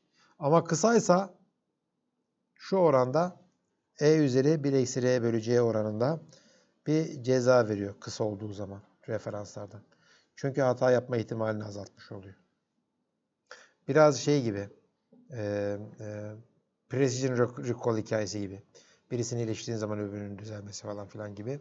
Buna brevity penaltı deniyor ve blue skoru BP ile brevity penaltı ile öbür P'nin çarpılmasıyla elde ediliyor. Genelde paperlarda falan gördüğümüz blue skorları 0-1 arasında değişmez. 1 ile yüksek rakamlar arasında değişir. 1'e ne kadar yakınsa o kadar iyidir. 1 bulmak ama çoğu zaman mümkün değil. İnsana versen insan da bir çıkaramıyor. E, 30-40 gibi rakamlar değişik normalizasyon yöntemleri var. Bugünlerde iyi rakamlar. 25 bayağı iyi bir rakam. 1'e yaklaşan rakamlar benim için iyi rakamlar. Tamam. Ee, güzel. Blue hakkında konuştum. Syntax Based Machine Translation hakkında e, çok da fazla konuşmayacağım. Onun yerine ben onun yerine ben size doğrudan derin öğrenmeciler bu konuda ne yapmışlar? Onun hakkında konuşacağım. Hocam kendi, bitlerden bir şeyler. Mesela sistemimiz var, kendi bitler bir şeyler? Bir sistemimiz var. Ya bu sistemi kullanıyoruz ve kendi bitlerimiz bir şey üretiyor bize. Yani kendi 10 tane kendi bit var elimizde 60 üretiyor. Onun üzerinden probability hesabı yapacağız. Evet, ha, evet. Peki bütün kendi bitlerin ortak olduğu şeyleri mesela kendi bitlerimizi birleştirsek orada 10 tane kendi bitim var. O da aşı- ayrı bir heuristik olur, evet. Ha, sonuçta heuristik ama bunlar. Sonuçta heuristik. Yani şey dikkat et ama. Hiçbir zaman 10 tane kelimeyi alıp random 10 tane candidate yaptıktan sonra yapmaya çalışmıyoruz. Phrase phrase hepsi. Phrase'leri alıyorsun. Diğer phrase'ler var. Phrase'lerin translation'lar aşağı yukarı belli. Bunlar bir araya nasıl gelir üzerinde çalışıyoruz hep. Sintaks biliyorum. Üstüne çünkü şöyle bir şey yaptık. Ee, mesela ilk şeyde yeşil cadı, cadı yeşil demiştik. Ama cadı yeşilin bizim söyleyeceğimiz dilde bir anlamı yok. Evet. Yani bunu sintaks olarak doğrusunu biliyoruz. Yeşil cadı.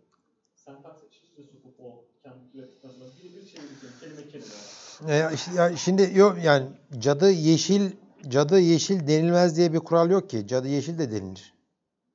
Yeşil cadı demek istiyorsan cadı yeşil demek kötü bir şey ama cadı ye- cadı yeşil demek istiyorsan eğer evet. diyebilirsin. Onda onda gramer var. Şimdi eğer onu gramer işine dökeceksen işler karışmaya başlıyor. Statistikler diyorlar ki hangisini daha fazla gördük? Bu durumda yeşil cadı mı demeliyim, cadı yeşil mi demeliyim? Onlara bakmamız lazım diyorlar. İstatistiğe döküyorlar işi. Sen diyorsun ki hangisi gramer uygun sonra Türkçe'de gramer uygun olmayan kelime dizilişi yok ki hemen hemen. Hepsi gramer uygun. Belki İngilizce için falan filan yaparsın ama e, şey için birazcık zor. Ya ben bunu nereye koydum ya şeyi? Ha şurada tamam.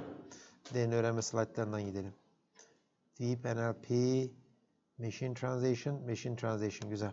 Bu slaytları bir öncekini Mooney'den çalmıştım. Bunları, bunları, bunları başka birinden çaldım. Bunlar e, Manning'in slaytları. Manning'in slaytları. O da bir misafir konuşmacı davet etmiş. Ee,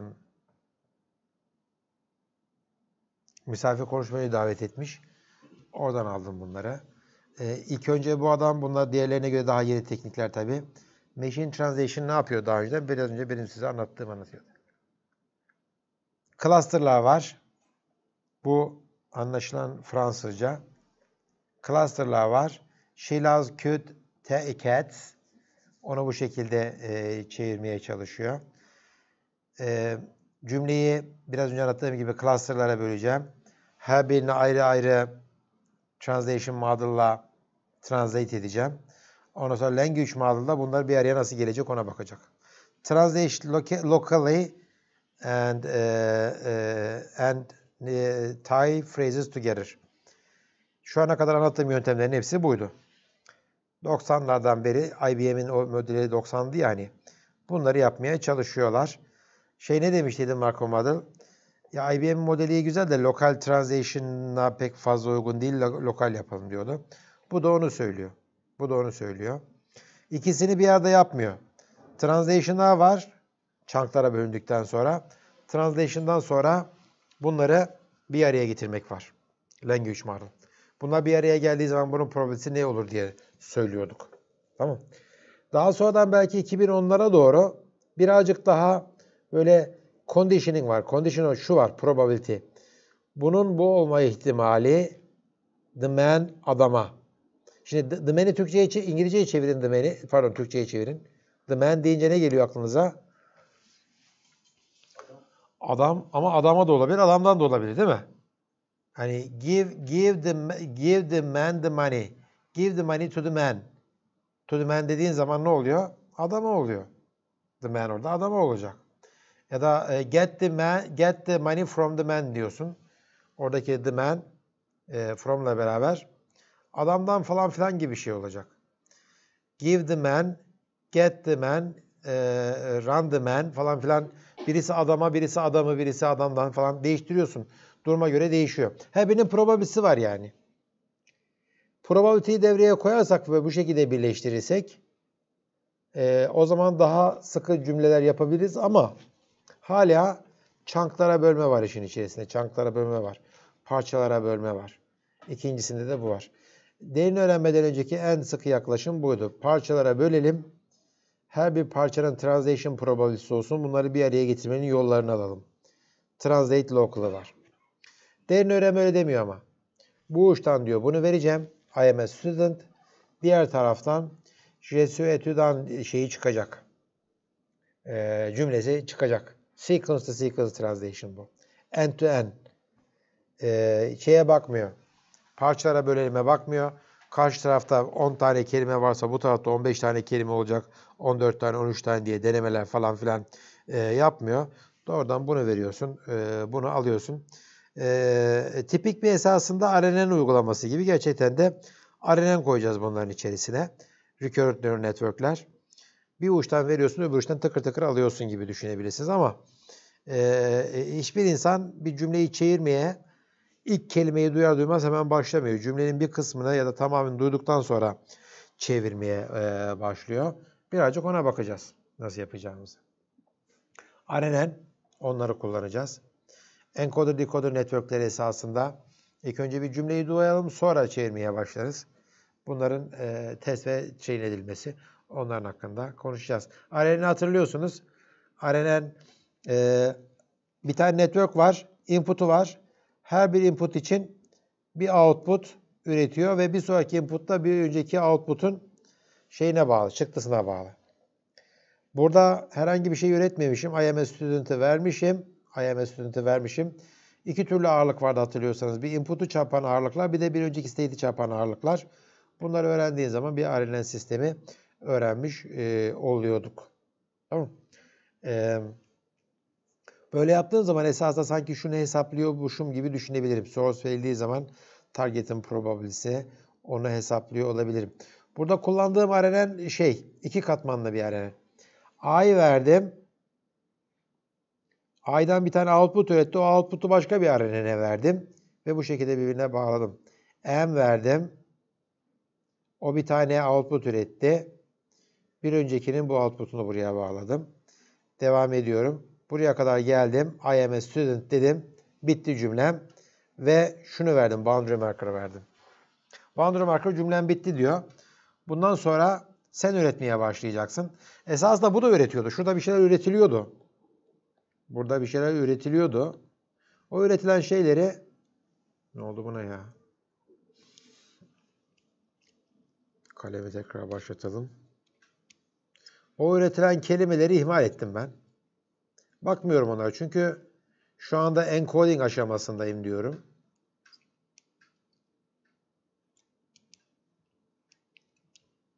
İlginç. Tamam. Şu anda encoding aşamasındayım diyorum ve burada üretilenleri bakmadım bile hiç. Şundan sonra üretilenlere bakacağım. Sen burada J üretmen lazım. S üretmen lazım. Eto, etodan üretmen lazım. Ve bir tane cümle bitti üretmen lazım. Burası encoder tarafı, burası decoder tarafı. Encoder, decoder diye ayrı ayrı düşünmeyin. Bunlar esasında encoder ile decoder aynı network. İki katmanlı bir tane RNN network'ü bu. İki katmanlı bir tane RNN e, network'ü. Bunu görünce üretmeye nasıl başlıyor? Esasında bunu görünce üretmeye başlamıyor. Esasında her zaman için bir şeyler üretiyordu. Bunların outputları vardı. Sadece bunu gördüğü zaman bunu gördüğü zaman ürettikleri benim için manalı diye düşünüyorum ben. Buradan üretileni alıp bunun içerisine koyuyorum. Buradan üretileni buraya, buradan üretileni buraya koyuyorum ki daha önce sen bana bunu üretmiştin. Şimdi input'un bu. Buna sonra ne üretirsin diye soruyorum. Tamam. Şeyimiz bu. Fikir bu.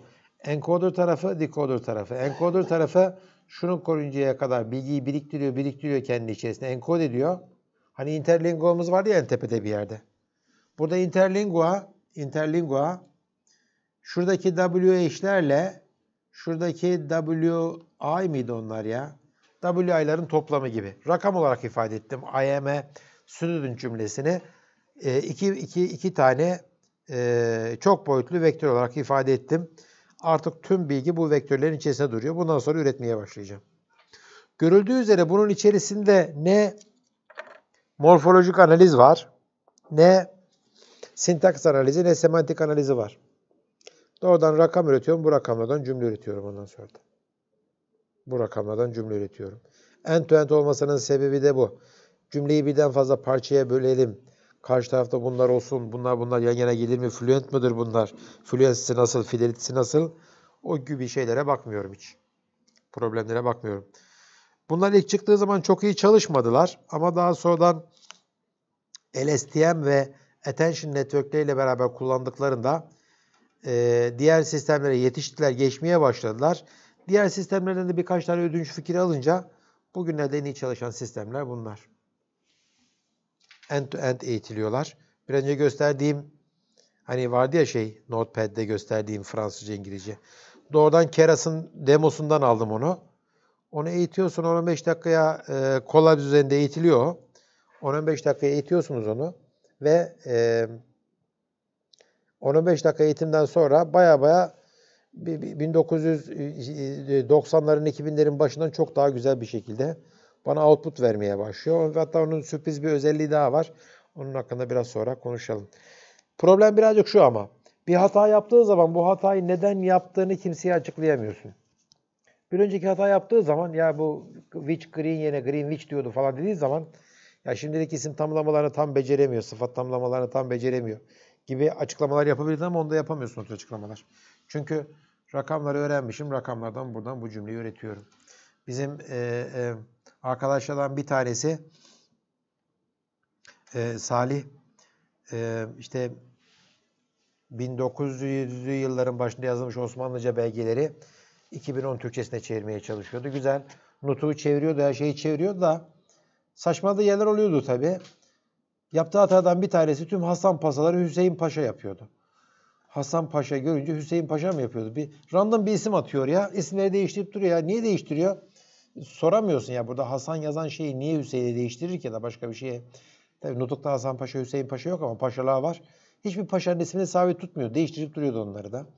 Sebebini yani, yani rakam olarak açıklayamıyorsun. Sebep olarak aklımızdaki tek fikir yeteri kadar paşa yok Nutuk'ta. Onu bulmuştuk. Yani yeteri kadar paşa görseydi herhalde paşa denince isminin değişmeyeceğini falan anlardı. Yaptığımız açıklamanın dil bilimle alakası hiç yok. Tamamen veri bilimiyle alakası var. Ve yeteri kadar veri yok. Bundan görememiş yeteri kadar gibi şeyler e, söylüyorduk. Yani bir NLP'cinin, klasik NLP'ci için böyle ne diyelim e, e, e, bayağı sıkıntı verici, bunalıma sürükleyici bir açıklama. En iyi çalışan sistem bu ama bu hatayı niye yaptığını NLP dilinde açıklayamıyoruz. E, derin öğrenme dilinde açıklayabiliyoruz en fazla. Veri şeklinde açıklayabiliyoruz. Tamam. Güzel. Devam edelim. E, şeyimiz bunlar. E, e, genel yapımız bu. Tabii ki burada bir network'e I verilmesinin, e, I verilmesinin, M, E verilmesi, student verilmesinin ne demek olduğunu biraz sonra bakalım. Embeddingler olacak buralarda. E, Word embeddingler hakkında daha önceden konuşmuştuk. Şu, insanlar genelde şunu sorarlar. Hocam ilk seferde burada ne veriyorsun? Internal state yok. Sıfır veriyorsun başlangıçta. En aptal şey. Eğer bu çalışmıyorsa random rakamlar versin sıfır etrafında değişen. O da güzel bir çözüm olabilir. Tamam bunun iki layer'lı olduğunu söylemiştim daha önceden. Onların hakkında çok konuşmayacağım. RNN'ler yerine LSTM kullanmak daha çok hoşumuza gidiyor. Niye? LSTM hakkında geçen ders konuşmuştum RNN yerine.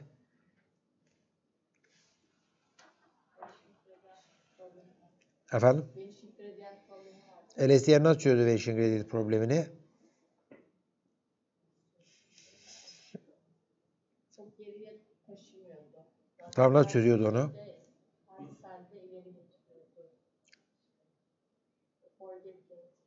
Bir, bir daha söyle.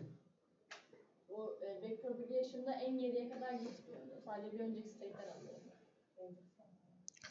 En geriye kadar gidiyor LSTM backpropagation ama en, en geriye kadar gitmesi üzerinde ağırlıklarla çarpılan katmanlardan geçmesini gerektirmiyordu. Direkt bir hat var buradan geriye doğru. O hattın üzerinden gidebilir. Arena öyle değil ama ne kadar geriye doğru gidersen vanishing gradient problemi o kadar benim için e, problem değil. LSTM'ler benim için daha şey. Bu adam one hot encoding kullanmış. Ne demek yani one hot encoding? Diyelim ki diyor benim dilimde toplam toplam 1, 2, 3, 4, 5 tane kelime olsun. Fransızca'da benim 5 tane kelime var. Şunun çıktısı 5'lik bir vektör. Ve bunların toplamı 1.0. Toplayın şunları gördüğünüz gibi 1.0 ediyor. En yüksek değeri olan o kelimeyi temsil ediyor. Mesela burada moi e, 0.4'müş. Burada moi çıkacağını düşünüyorum ben diyor. Bunu moi'ye aldım. Ondan sonra madem moi çıktıysa input olarak sana moi'yi verdim buradan. Tekrar devam et diyeceğim. Tekrar devam et diyeceğim burada. Halbuki bu benim şeyimde, trainingimde. Şu şurada. Output olarak moi çıktı. J değil de moi çıktı. Moi'yi alıp devam edeceğim diyor burada. One hot encoding kullanmış burada ama one hot encoding'den daha çok biz şey istiyoruz. Ee, one hot encoding'den çok biz e, one hot encoding'in kötü tarafı neydi kelimeler için? Benzer kelimelerin e, birbirine olan uzaklıklarının alakası yok benzemeyenlerle aynı. O bir. ikincisi one hot encoding vektör boyları çok çok uzundu. Sözcükte kaç kelime varsa 40 bin kelime varsa 40 bin boyutlu e, vektörler olmak zorunda. Ben onu çok kullanmak istemiyorum 40 bin boyutlu vektörler. 200-300 boyutlu vektörler benim için daha iyi. Hesaplaması daha e, kolay oluyor onlarla. Sonuçlarında daha iyi çıkıyor. Ama bu örneklerde hep one hot encoding var. Şimdi eğitime gelelim birazcık. Eğitimde şu var. Bunu verdim. Bunların çıkması lazım. Training loss nasıl hesaplayacağım? Burada çıkan vektörün C vektöründen olan farkı artı burada çıkan vektörün Su vektöründen olan farkı. Burada çıkanın bundan farkı, burada çıkanın bundan farkı. Bu dört tanesinin farkı benim için loss değeri olacak. Bu loss değeri benim için hata. O hatayı back propagation'la geriye doğru götürüp hem bu tarafa doğru hem böyle hem de böyle geriye doğru götürüp tabi buradan da geri gelecek. Geriye doğru götürüp bu e, back propagation yaparak e, rakamları kaç türlü rakam vardı? Bir şuradaki rakam bir de buradaki rakam ama defalarca kullanıyorum bunu. Pardon. Burada, burada, burada ve burada dört tane değişik rakam var. Çünkü iki katmanlı ya bu RNN ya da LSTM. E, bu rakamları tespit etmem lazım. Chain loss bu şekilde hesaplanıyor. İşte burada J'nin hatası. Ne çıktı bu? Bunun hatası, bunun hatası. Hepsinin toplam hatalarını alıyorum ve back propagation'a geriye doğru gönderiyorum onları. Gradient'ı yapmaya çalışıyorum. Tamam. Test ederken, test ederken ne yapıyorsun tabii ki? Bunu verdim. Bunu verdim. Artık e, bunun karşılığı olan cümleyi bilmiyorum ben. Ne yapacağım? Diyorum ki bunu verdim. Burada moi çıktı. Bunu aldım. Moi'yi buraya verdim. Ne çıktı? Suyu çıktı. Bunu aldım buraya verdim. Ne çıktı? Bu çıktı. Bunu aldım buraya verdim. Ne çıktı? Bu çıktı. Artık bundan sonra bitebilir. Bunu vermiştim ben. Şunu elde ettim. Fena değil bir tane kelimeyi yanlış bildi. Testing durumunda bunu yapıyorum. Hala çıkanı buradan veriyorsun. Bakın buraya çıkanı verdim. Doğrusunu vermedim. Doğrusu yok çünkü elimde. Bu şekilde test ediliyor. Yani ilk derste anlattığıma göre bunlar baya baya farklı. İlk derste anlattığım tamamen dönem boyunca öğrendiğim şeyler hakkında konuştu. Syntax konuştu, semantics konuştu. Ondan sonra tekrar onları bırakıp e, başa döndüğünde World State Disambiguation konuştu. Onları bırakıp probability'ye döndüğünde, hidden Markov modele döndüğümde onların hakkında konuştuk. Ama son yarım saattir e, daha önceden bildiğim şeyler hakkında bir şey konuşmuyorum. Derin öğrenme öyle bir şey. Yani bildiğiniz her şeyi unutun. Ya da şimdilik bir kenarda bekletin. Tamamen yeni bir şekilde bunu yapmanın yolunu göstereceğim ve bu diğerlerine göre iyi çalışacak gibi hikayeler söylüyorlar. Ee, bu 2014'te çok erken geçtiği yani çok önceleri değil bu çok eski değil. 2014'teki Statistical Machine Translation SMT dünyasının elde ettiği blue score'ları. Bir de ne kadar yakınsa o kadar iyi. Bu e, e, e, pardon tersini söylüyorum. Bu blue skorunda ne kadar büyüksem o kadar iyi. 30'lar değil. Avaraj SMT burada 33 çıkmış. En iyisi 37 çıkıyormuş. Bu İngilizce Fransızcaydı herhalde öyle hatırlıyorum. Evet İngilizce Fransızca bu. İngilizce Fransızca şeyleri e, e, translation sonuçları. Tamam. Bir önce gösterdiğim size şeyin bir bölüsünü aldığını düşünün. E, blue skorlarının. Orada nasıldı? Bireye ne kadar yakınsa o kadar iyiydi. O rakamın tersini alırsanız ters oluyor yok ya. Bunu ne, nasıl hesaplıyorduk bilmiyorum.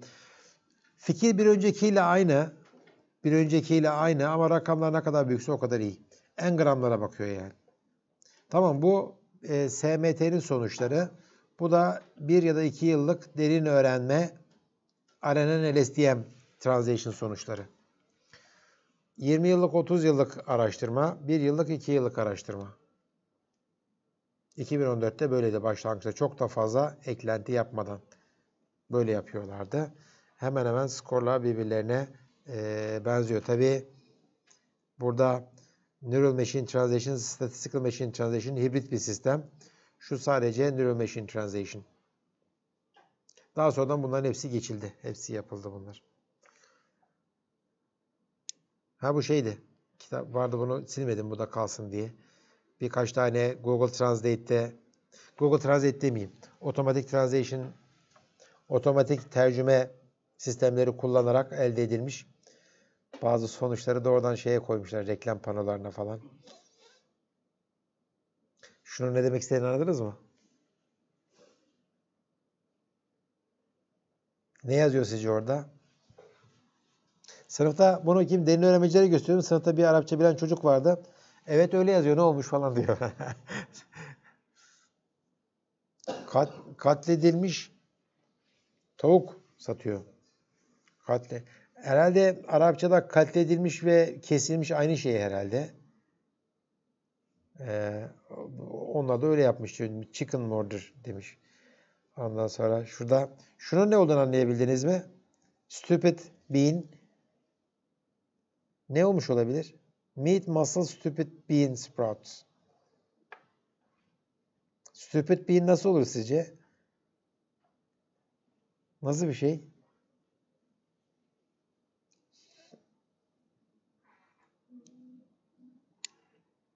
Ben de bilmiyorum ama yani bu bu herhalde nece bu Çince mi arkadaşlar?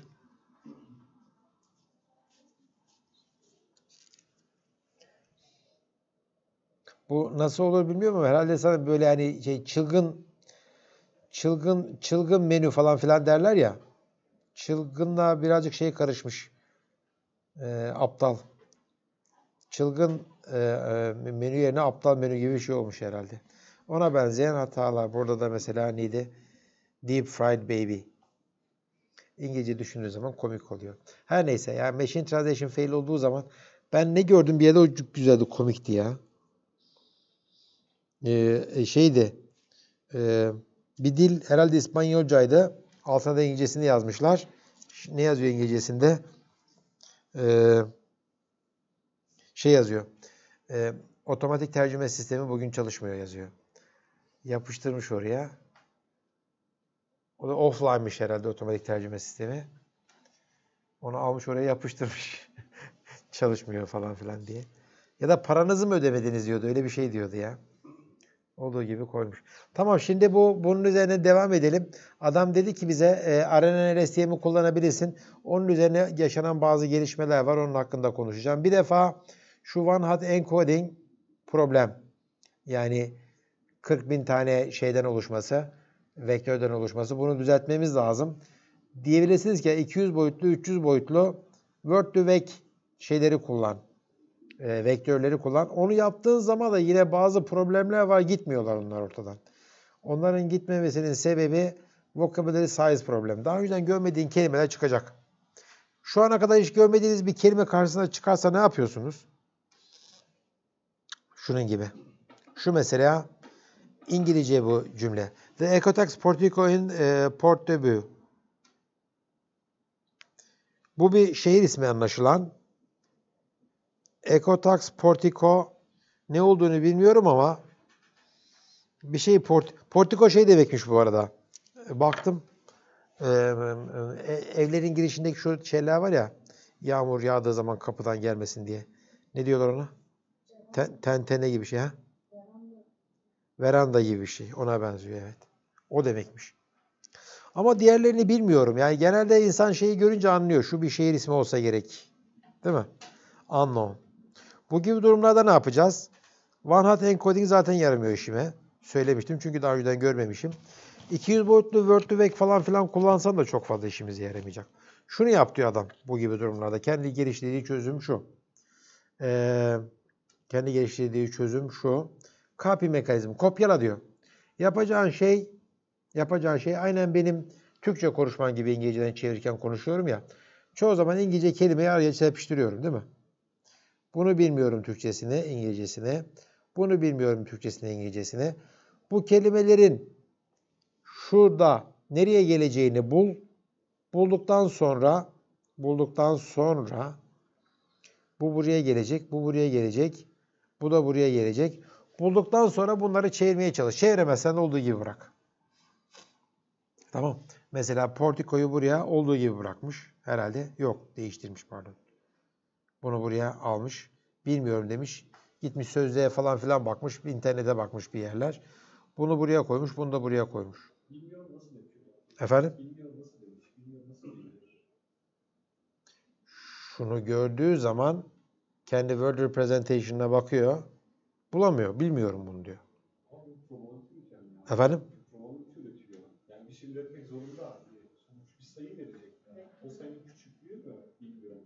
Bir bir. Hayır yok ya. Şimdi, e, e, şimdi Word to Vec nasıl çalışıyor? Elinde 10 bin tane, 20 bin tane kelime var. Karşılığında 200 boyutlu bir tane vektör var değil mi? O listeyi aradım sıfır çıktı. Yok. Öyle bir kelime yok. Bilmediğim kelime 1. Bilinmeyen kelime 1. Bilinmeyen kelime 2. Bilinmeyen kelime 3. Böyle bir cümleyi ben çevirseydim İspanyolcaya bu kelimeler nereye giderdi? Soru bu. Bu kelimelerin nereye gittiğini bulduktan sonra bu kelime buraya gidiyor, bu kelime buraya gidiyor, bu kelime burada kalıyor. Yapabileceğim en aptalca şey benim sürekli kullandığım bir teknik. O kelimeler olduğu gibi bırak. İngilizcesi kalsın burada. Çok yapıyoruz biz onu. Benim CPU'mun hızı falan filan diyorum ya. Ni- Niye işlemcimin hızı demiyorum? Aklıma gelmiyor o anda. Bilmediğim bir kelime. Bazısını çeviremiyorum. Kelimeyi bilmeden nereye geleceğine nasıl karar? Cümlenin yapısı belli. Yani the, the something in something değil mi? The something in something. Bu da iki tane arka arkaya geldiğine göre nasıldı şeyde e, İspanyolca ile e, İngilizce arasındaki sıfat tamlamaları? Birisi which green diyordu, birisi greenwich diyordu. Olsa olsa böyle olur. O ayrı bir sistem. Yani hocam bu problem çözmüş mü? Hayır. Word alignment problemine çok benziyor ama en azından tabii de bu kar- karıştırmış işi. Genelde bu kadar çok şey olmuyor. Ee, bilmeyen kelime yan yana gelmiyor. İsimlerde falan çok oluyor. Özel isimlerde. Daha önceden görmediği bir özel isim. Tanıdığın zaman özel isimler olduğu gibi bekletebiliyorsun. Yerlerine koydum bunları. Yerlerine koydum. Ondan sonra yapacağım şey eee, yapacağım şey doğrudan kopyalamak olabilir. Ya da bu kelime için özel bir şey yapmak. Ne diyeyim? İşte webden bak, Wikipedia'dan bak, şuradan bak, buradan bak. Bunun karşılığı ne diye bir tane şey bulmaya çalış. Kelime. Yani Word to Vec'in içerisinde yok. Kendim bir tane kelime bulmaya çalışıyorum. Tamam buna copying mekanizması deniyor. Adam bunu yapmış belli bir yere kadar çalışmış ve diyor ki e, kendi serisinde e, e, mask yani nadir geçen kelimeler, nadir geçen kelimeleri içeren e, e, e, çeviri sistemlerinde ilk defa Neural Machine Translation sistemleri state of the art'ı yakaladı. Bu hangi yılın çalışmasıydı? 2016 falan herhalde. 2015-2016 NMT sistemi, Neural Machine Translation sistemleri e, diğer sistemleri yetişmeye başladılar. Geçmeye başladılar. Hibrit olduğu zaman baya baya daha ileride ama e, tek başlarına da iyi olmaya başladılar. Burada bunu söylüyor. Şeyde pek bir avantajı yok gördüğünüz gibi. E, e, kelime sayısı, nadir kelime sayısı az olduğu zaman. Ama nadir kelime sayısı arttığı zaman diğerleri düşüyor. Bu Kendisi fena kalmıyor. Burada bir tane örnek var mesela. Şu. Cümlemiz bu. Bunu Fransızca'ya çevireceğiz. Bilinmeyen 3 tane şey var, kelime var. Bir şu 2600 bilinmiyor. İnsanlar bunu çok yapıyor. 2600 çat diye oraya atıyor. Çevirmeye çalışmıyorlar değil mi? Şu bilinmiyor, bir de bu bilinmiyor. İnsanlar bunu bu şekilde çevirmiş. Bu adamın yaptığı şey buraya anla 11, anla 15, anla 16 demiş. Ve 2600'ü Fransızcası falan filan yok bunun aynısı. Bunu bu şekilde, bunu da bu şekilde değiştirmiş. Translation plus unknowns. Durumu düzeltmiş. Birkaç tane daha örnek vardı bununla ilgili. Özel isim güzel. Rakam güzel. Trader yokmuş herhalde. Bazen de belki de şey yaptı. Ee, bilerek oradan kaldırdı ki buluyor mu bulamıyor mu falan filan diye. Güzel. Bu ilk iyi gelişmeydi adamın bana anlattığı. İkincisi birazcık daha e, fazla bilinen ve daha ne diyeyim popüler bir gelişme. Attention mekanizması. Onun hakkında konuşacağım. Bir de üçüncü problem var. Üçüncü problem de her şeyin karşılığını çat diye diğer tarafta bulamazsın. Unknown deyip geçmek çok güzel bir fikir değil. Bazı kelimeler var ne olduğunu tahmin ediyorsun. Doğrudan koyabilirsin onun yerine. Öyle bir tane şey var, e, çözüm var. Onun hakkında konuşacağız. Şimdi attention mekanizmasına bakalım ama bence attention mekanizmasına bakmadan önce tamam attention mekanizmasına bakalım. E, bu anlattığım yöntemin problemi şu. Problemi şu. Eğer cümlenin uzunluğu 60 kelime, 50 kelime, 40 kelime gibi şeylere yaklaşıyorsa, e, uzun kelimelere yaklaşıyorsa, o zaman blue skorlarımız baya baya düşmeye başlıyor. Kötü oluyor. 10 kelimelerde, 20 kelimelerde çalıştığımız sistemler iyi ama 50-60 kelimeye geldiğim zaman performansım 3'te 1'e falan düşüyor. Onun için diyorlar ki uzun cümlelerde problemliyim ben. Niye? Problem şu. Koskocaman cümlenin tüm manasını bir vektöre sıkıştırmaya çalışıyorsun. Sonradan sıkıştırmasına sıkıştırdın belki ama bundan düzgün bir cümle üretiyorsun. Onu yapmak kolay değil.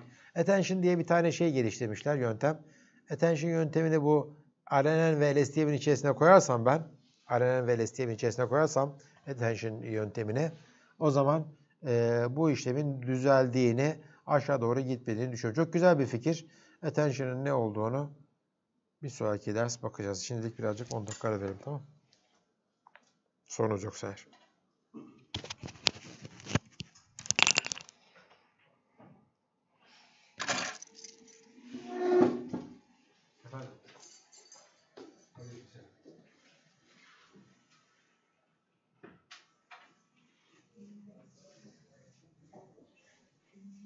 Thank.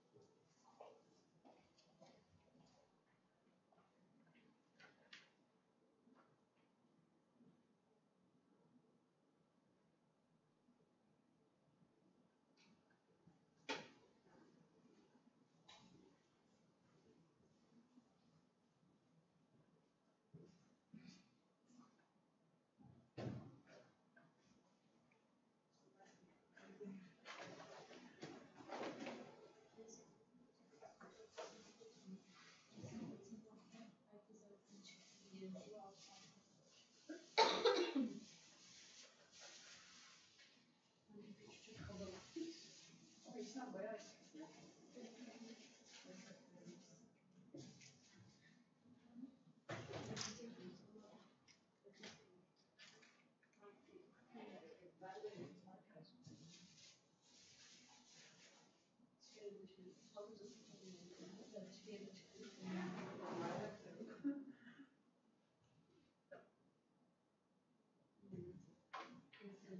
Wir sind im Wahlkreis gewählt, ja.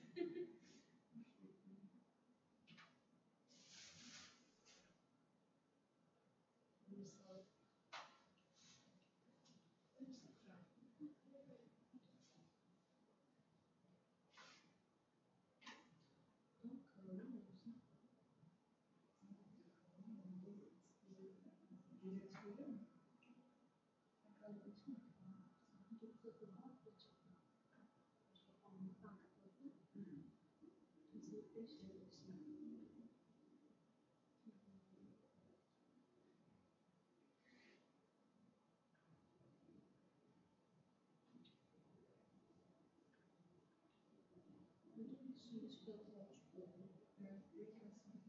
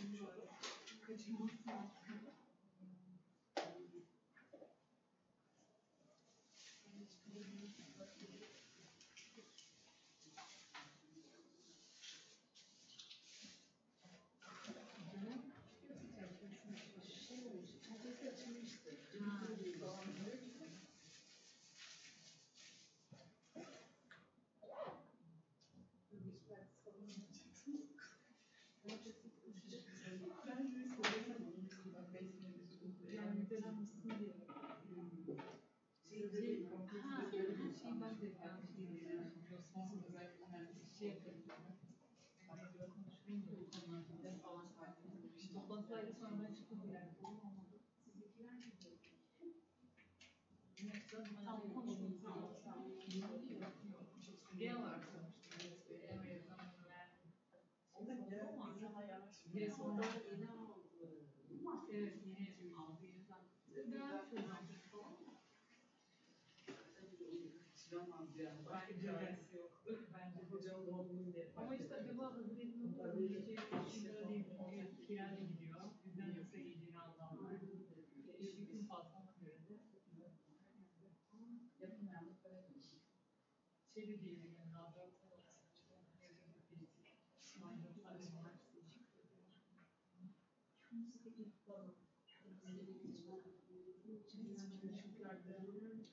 Şey yok. Zaten farklı.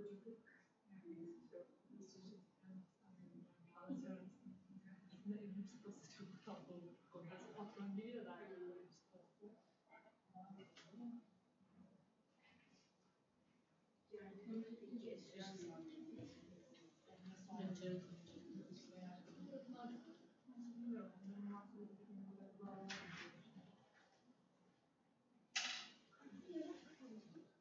Arkadaş, yüklü vardı. Çiğ köfte yapıyorum. Senin ekmeğin köftesini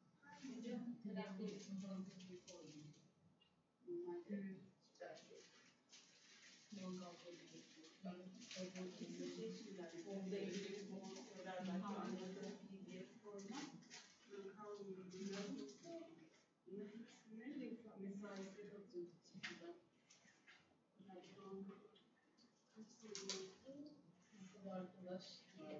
saat falan uyumuşum sana. Çiğ köfte. Biraz sadece baktım ama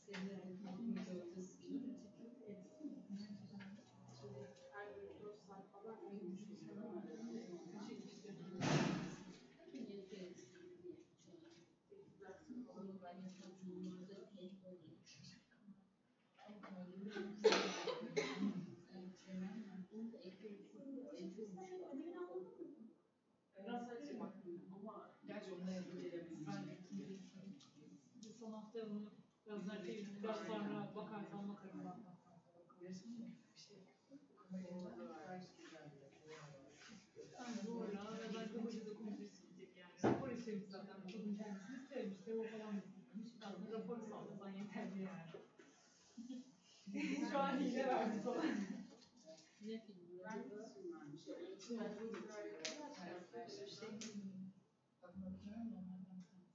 Yani beni seviyor ben niye aldım beni?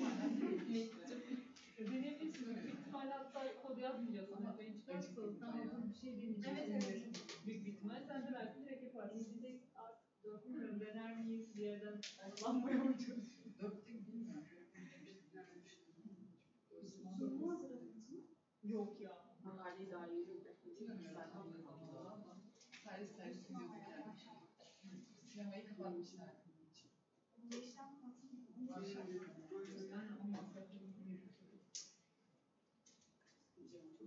anlamıyorum ki.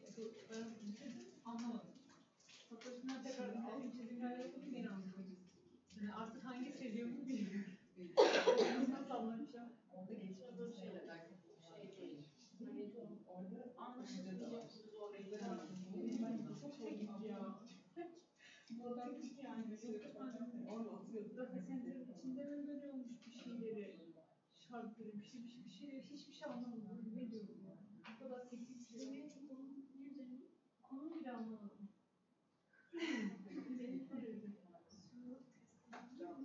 Etmedin mi? Böyle bir şey.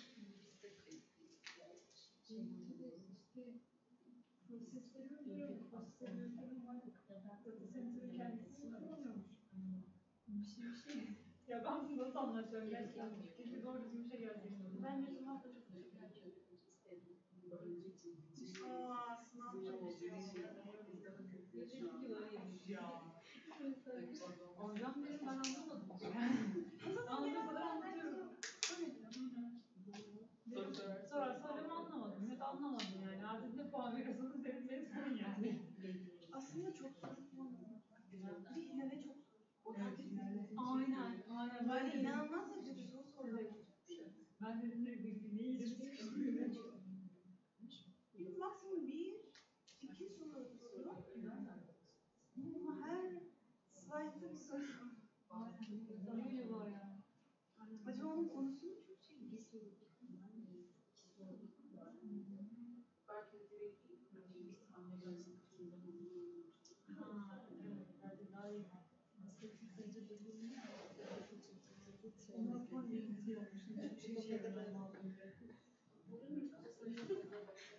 Yolundaki bence içinde gidiyor. Bir rapor kim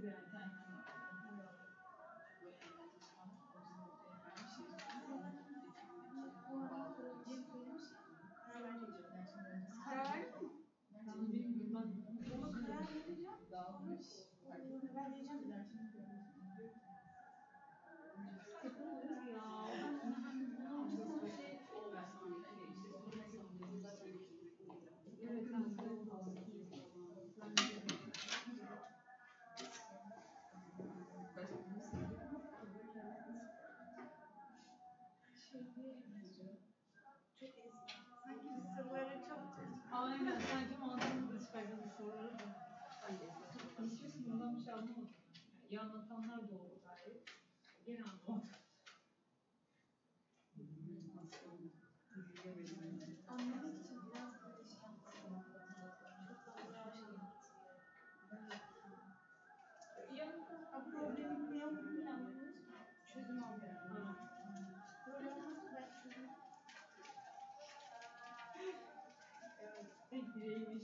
benim sınıfdan sonra gelmez. Çünkü kendim bile olsa böyle yapamam. yok. Şöyle yaparsın. Hiç anlamadım ya. Bu kadar uzak makale ona verirken politikaya yapamıyorum. Söyledin mi? Ama kendisi. Ben onu demek istedim ya, çok haksızlık yani. Zaten kafadan direkt kaç soru soracak ki zaten sorsun. 10 soru soracağım ben 5 soru sorarım. 20 puan garanti. Aynen. O yüzden 20 puan garanti olur.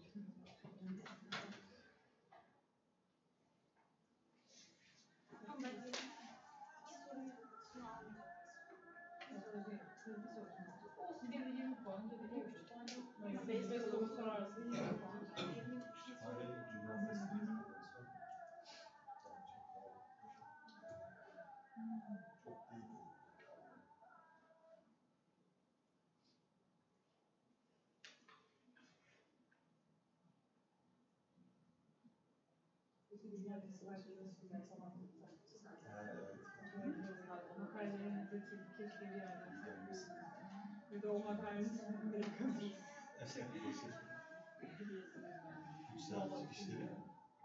Büyük bir ihtimalle ilk bakarım. Ne kadar varsa işte yani şeyi, hadi özeti ya da sunumu var. Bulamadım işte kaderine Yani anladın mı? Üç sayfayı yapacağım yani. Yine anladık.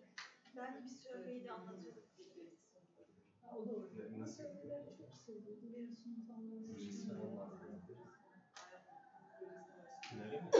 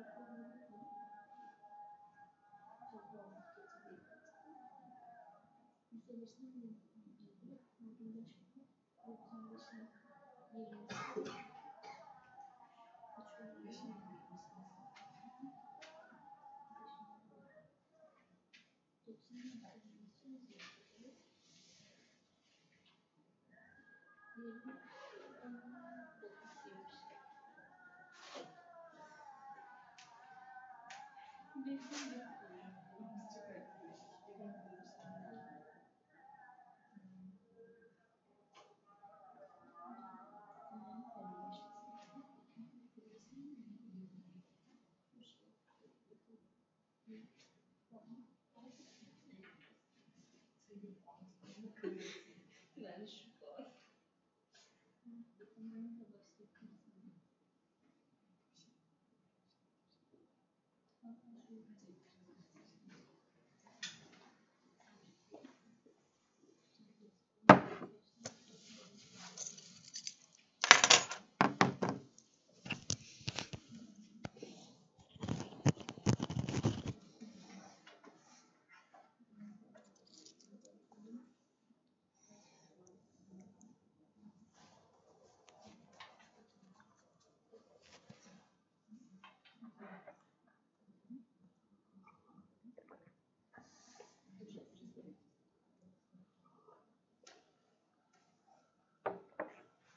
Tamam. Ee, şimdi bu attention mekanizmasının ne olduğuna bakalım. Attention mekanizması şunu söylüyor. Eğer ben network'ümü eğitirken, ağımı eğitirken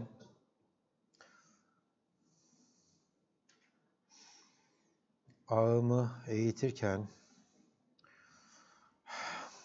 çok geri gitti ya.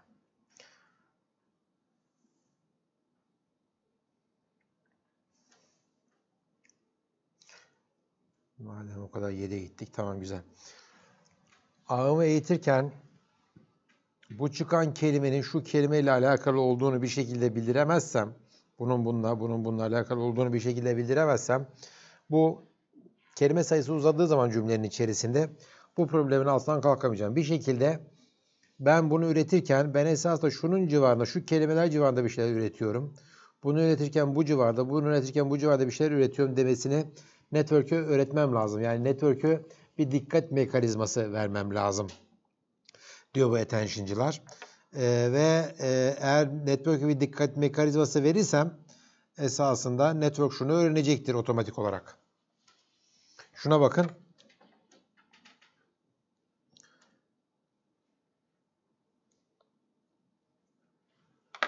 Burada e, İngilizcesi şurada, Fransızcası burada. The arrangement on the European Union area was signed in August 1992. Bu. İngilizcesi o. Fransızcası da bu. Baktığım zaman buraya İşte burada D ile L kelimesi yan yana. Herhalde 92 tabii ki 92'ye denk geliyor şöyle yaptığım zaman. Görüyor mu? Pardon arkadaşlar bunu bir almam lazım ya. Alo. Merhaba Oğuz Bey ben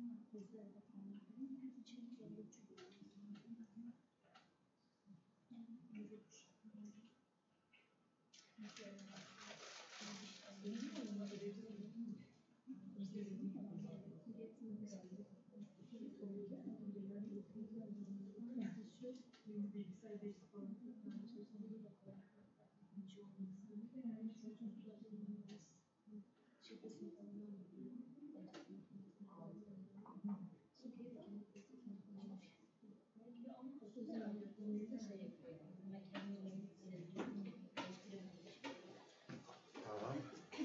Şimdi bu attention mekanizması şunu görmüyorsunuz.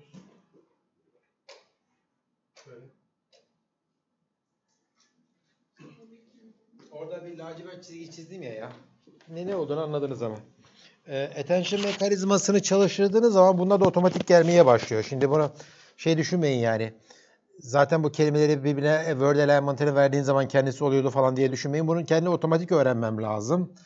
Nasıl öğreneceğimi şu kırmızı daha iyi mi arkadaşlar? Biraz daha iyi gibi. Şurası. Bu 92'nin 92'ye denk geldiğini ondan sonra akordun agreement olduğunu şuraya gördünüz değil mi? Agreement'in akord olduğunu mesela the yine denk geliyor. Baya baya kendisi çözmüş. Bunun verilmesi lazım. Ee, bu olduğu zaman üretilirken e, cümleler neyi ürettiğini bilerek üretmiş olacak attention mekanizması. Ama dediğim gibi kelime kelime word alignment'a vermemiz o kadar kolay değil. Vermeyeceğiz de zaten. Biz sadece cümleleri verdik. Bu cümleye karşı bu cümle, bu cümleye karşı bu cümle. Bu alignment'ın nasıl çıkarıldığı hakkında birazcık konuşalım. Bu adam burada şunu aldı tamam mı? Bunu aldık, verdik. Dedik ki cümlenin sonu bu. Ee, cümlenin sonu bu.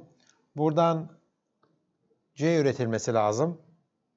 Bunu üretirken ne hakkında düşünmen lazım senin? Ya da bundan sonraki kelimeyi üretirken ne hakkında düşünmen lazım? Herhalde burada e, I am'den gelen M kelimesi hakkında düşünmesi lazım. Yani ilgili olduğu alanlar buralar. Onu söylememiz lazım ama bilmiyorum ki ben burada gelen kelimenin buna denk geldiğini bana kimse söylemedi. Veri setim içerisinde sadece buna denk gelen cümle var. Başka da bir şey yok. Ne geliyor aklınıza?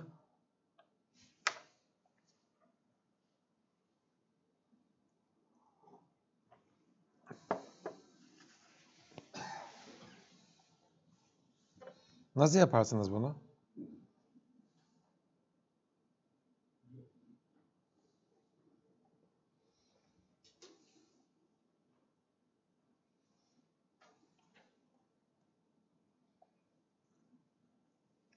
Şimdi şeyi biliyorum ben. Burada e, e, şurada bunu vereceğimi ondan sonra ete ete want bunu vereceğim, bunu vereceğimi biliyorum. Ne vereceğimi biliyorum yani burada.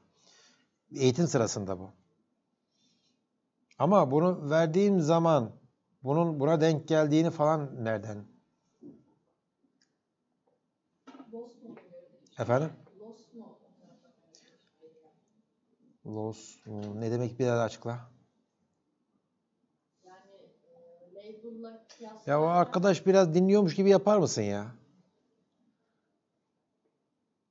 Lost'u normalde label'la kıyaslayarak yapıyor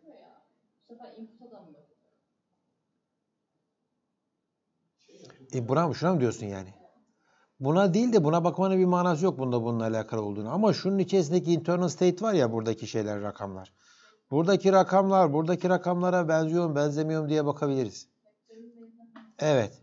Bunun kendi içerisindeki rakamlar evet. Yani input değil de bunun içerisindeki kendi rakam. Eğer buradan bu çıkacaksa, CEO çıkacaksa bunun içerisinde en çok buna mı, buna mı, buna mı, buna mı internal olarak, state olarak en çok bunların içerisinde şuna benzemesini beklerim ben eğer buna denk geliyorsa. Yapacağım şey olacak. Diyeceğim ki bu şuradaki gördüğüm, burada gördüğüm rakamlar network'ün internal state'i encoding aşamasında hangisine benziyordu? Tamam mı? Şurada gördüğüm encoding aşamasında hangisine benziyor? Devam edelim. Şimdi bunu aldım. Encoding buna mı benziyor, buna mı benziyor, buna mı benziyor? Baktım hepsini teker teker karşılaştırdım. En benzeri bu çıktı. Esasında şu benim için bir feature vektörü. Diyorum ki şu kelime üretilirken en çok benzediğim yerler şuralar. 3, 5, 1, 1. Bunların toplamına göre yani 3 artı 5, 8 artı 10.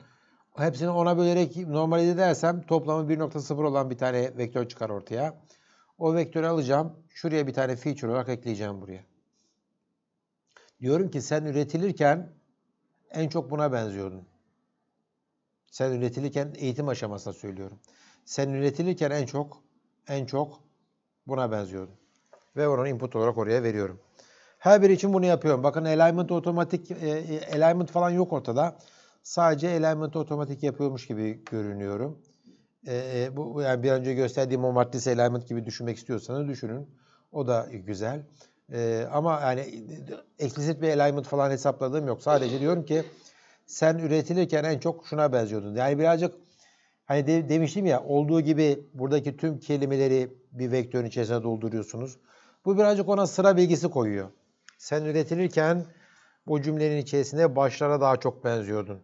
Sen üretilirken o cümlenin içerisinde sonlara daha çok benziyordun. Gibi bir fikir veriyorum. Alignment mekanizması e, bu.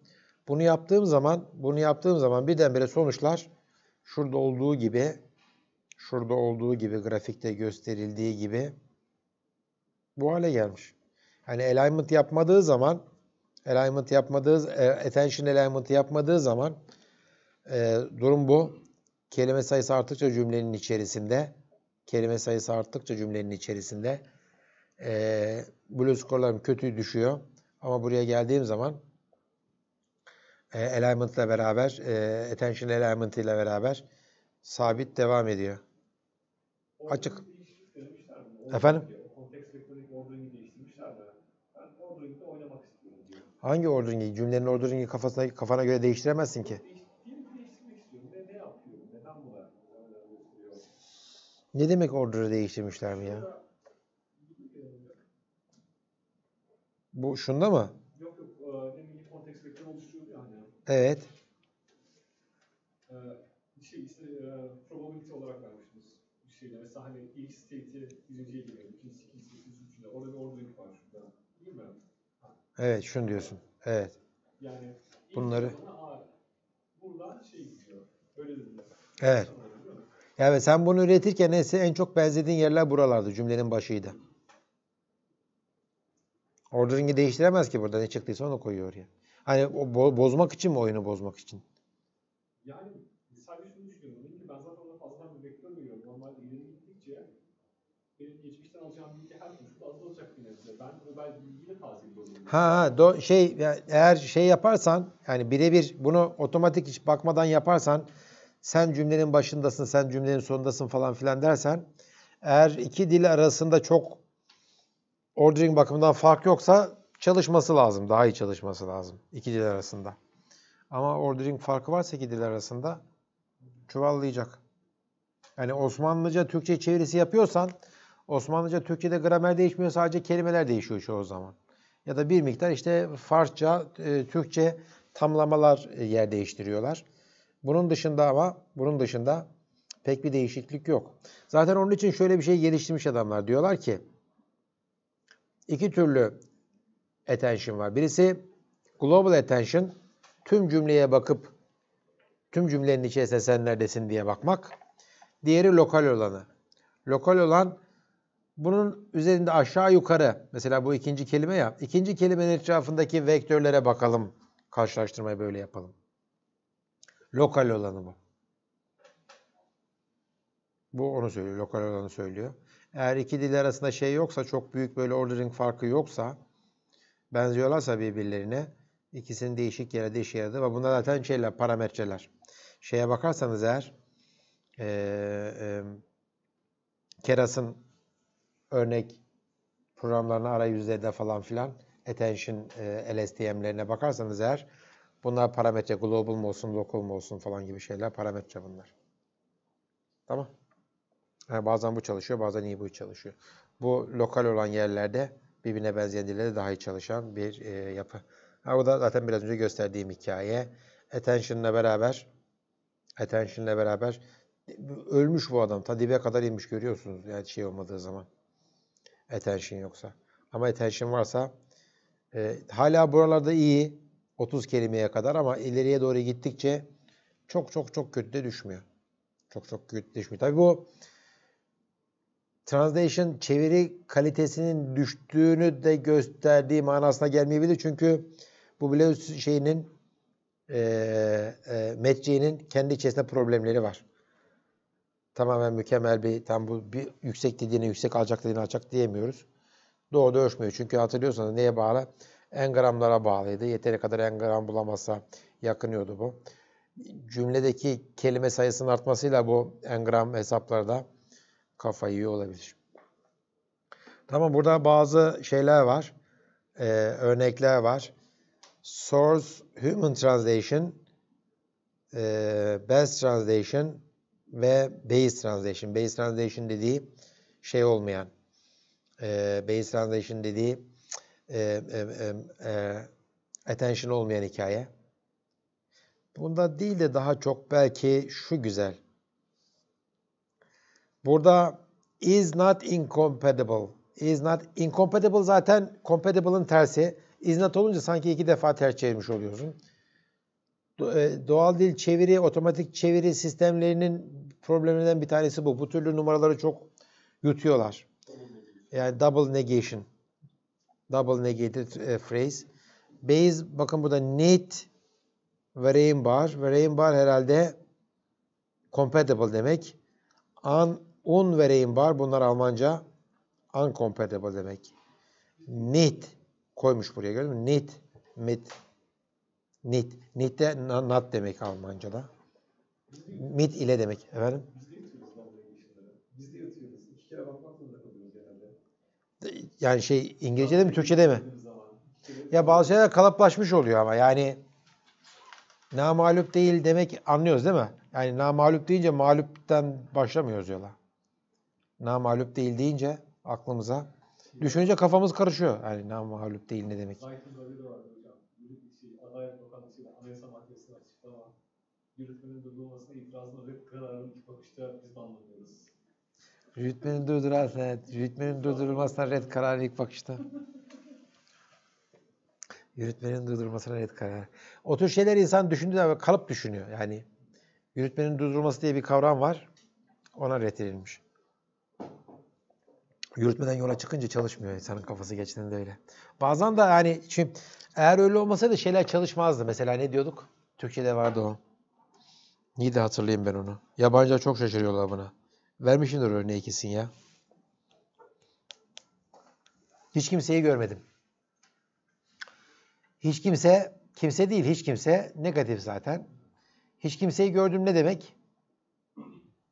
Esasında kimseyi görmedim demek değil mi? Yani hiç kimseyi gördümün o manaya gelmesi lazım ama biz hiç kimseyi görmedim diyoruz. Bir kalıplaşmış ve kimseyi görmediğimiz manasında söyleyip duruyoruz. Öyle.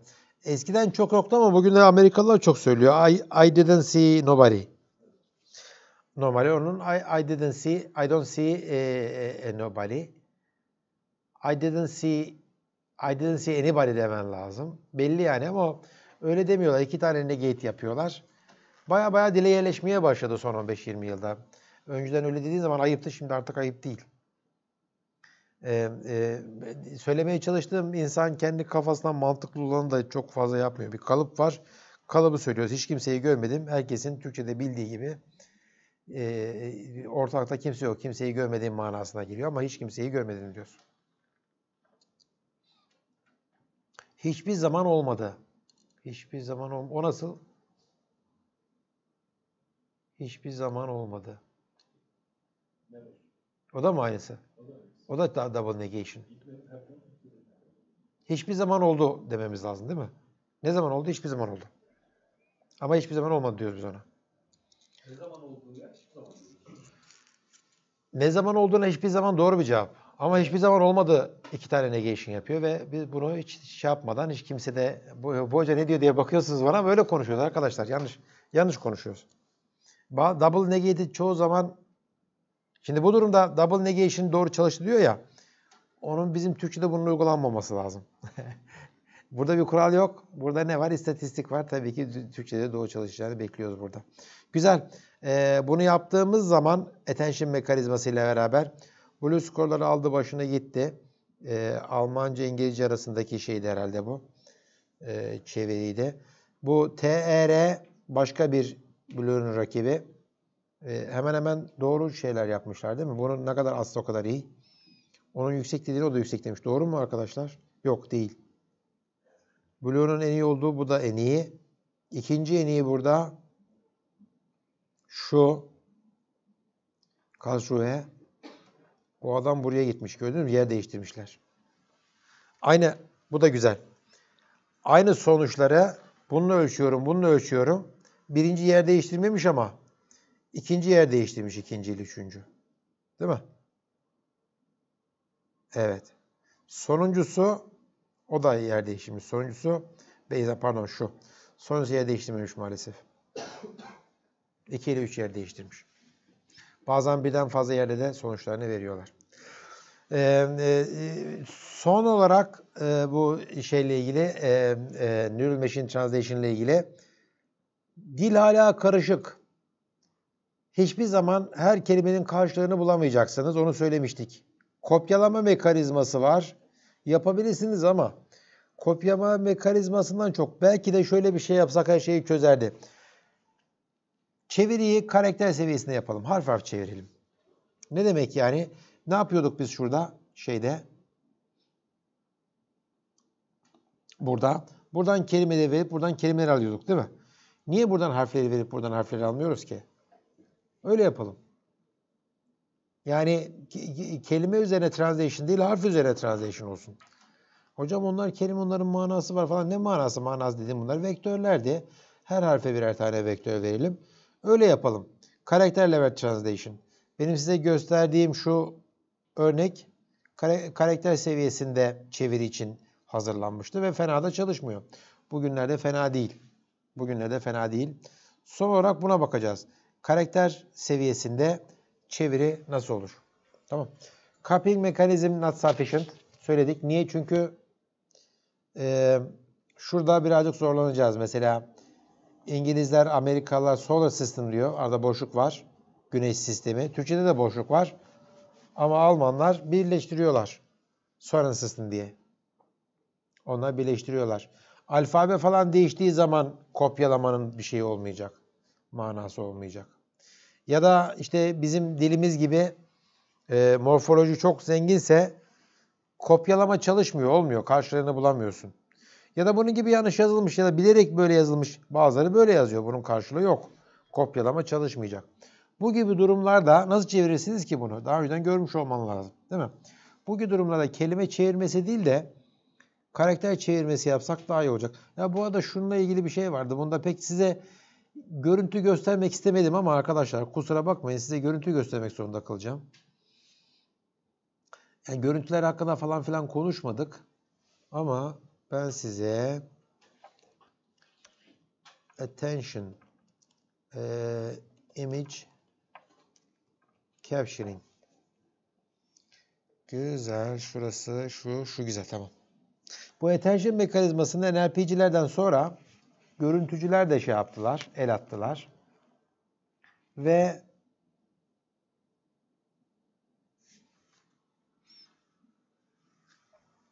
şunu yapın. Şimdi image capturing önemli bir e, e, NLP artı Vision uygulaması. Bu görüntüyü veriyorsunuz. Bu görüntüyü verdikten sonra şunu çıkmasını istiyorsunuz. A bird flying over a body, body, body of water. Bunu çıkmasını istiyorsunuz. Hani buradan bir cümle verip Fransızca buradan İngilizcesinin çıkmasını beklemek değil de buradan bir tane şey verip e, görüntü verip buradan bir cümle çıkması. Tabii görüntüyü tak diye veriyorsun. Tek adımda veriyorsun. Bunun decoder tarafında, encoder tarafında tek adımda verdin. Decoder tarafında tıkır tıkır birer birer çıkmasını bekliyorsun. Çıkmasını bekliyorsun. Aynı attention mekanizmasını biz burada niye yapmıyoruz ki? Demiş bazıları. Yani ne demek? Şimdi eğitim anında bunu verdim. Burada A çıkaracaksın, bird çıkaracaksın, flying çıkaracaksın diyorsun ya.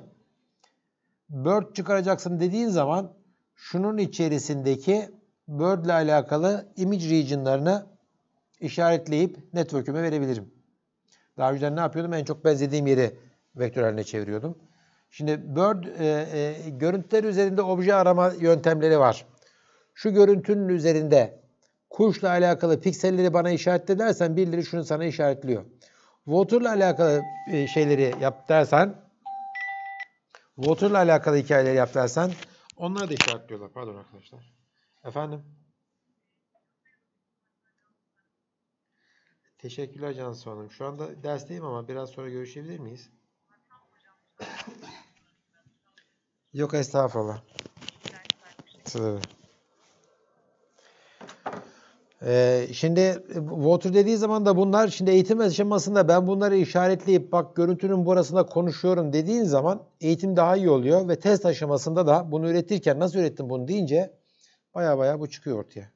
Baya baya bu çıkıyor ortaya. Ve ve hani captioning yaparken hani no- normalde şu gördünüz mü? Şu. Şu güzel. A woman standing in a living room holding a V remote. Gördünüz değil mi? Her seferinde değiştiği zaman living room, room dediği zaman holding a V remote. Remote dediği zaman yukarıdan çıkması olması lazım. Şurada the background. A cow is standing on a field with a fence. Fence'i gördünüz mü? Üstüne getirdi onu. Şu da güzel. A group of planes flying in the sky. Sky etrafı gelmiş. Head'de, head'i buluyor mu? Bu sisteme head falan ne demek söylemedim ama e, pardon söylemedim değil. Training aşamasında head'in ne olduğu şeyi biliyorsunuz değil mi? Ee, yani bir, bir kelime cüm, e, görüntünün üzerinde bu kelimeyle alakalı pikselleri bana e, üret, onu yapmanın yolları var. E, zaten bu işi alevlendiren de o AlexNet türü hikayeler. Onları bunun içerisine koyuyorsun. Her bir kelimenin manasını görüntü üzerinde göstermiş oluyorsun. Derdimiz bunları bulmak değil. Derdimiz daha iyi captioning üretmek ve böyle yaptığın zaman iyi captionlar çıkmış ortaya. Bunu da e, onunla konuşurken söylemiş olayım. Tamam şimdi geldik bu e, karakter level, karakter, karakter seviyesindeki translation'a. E, yapmışlar.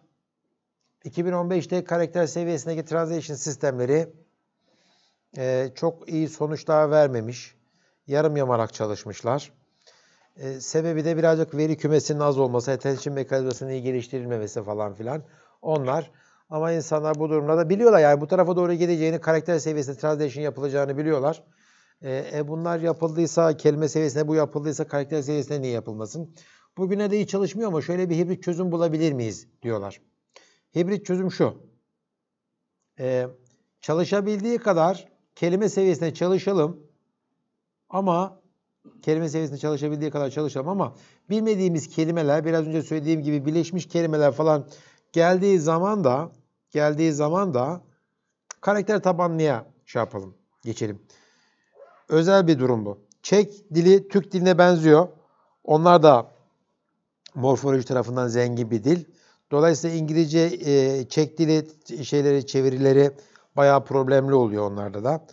Buna işe bir bu işe birazcık bakalım diyor. Bakıyorlar ve bu geçtikleri yöntemin e, Blue skorunu 2.1 skorunda artırdığını görmüşler. Bunun faydası var diyorlar. Sistem şu şekilde çalışıyor. A cute cat. E word representation'ı var. Cat'in var ama cute'un yok diyelim.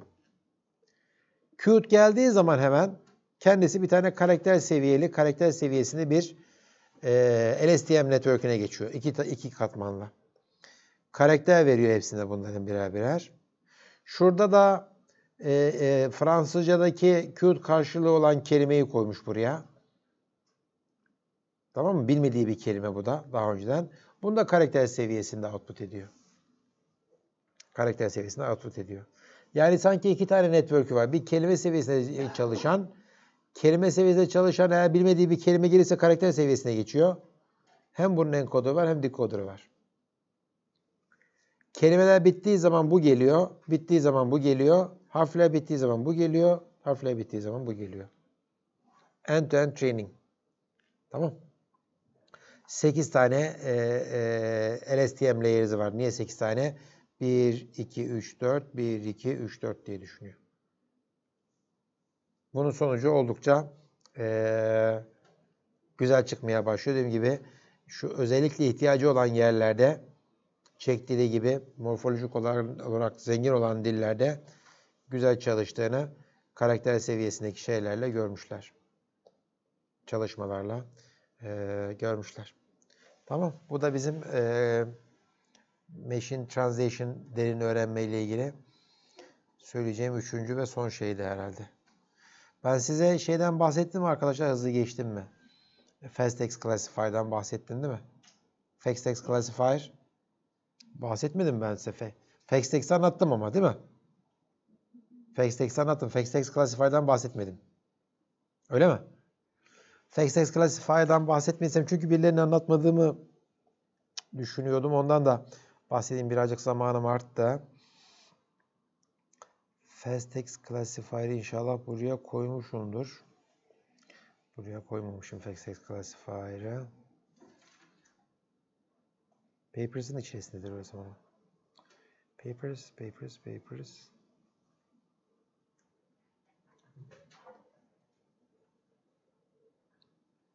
Bu. FaceText'in bu değil ya. FaceText'in Word2Vec'ten farkı neydi? Word2Vec ne yapıyordu?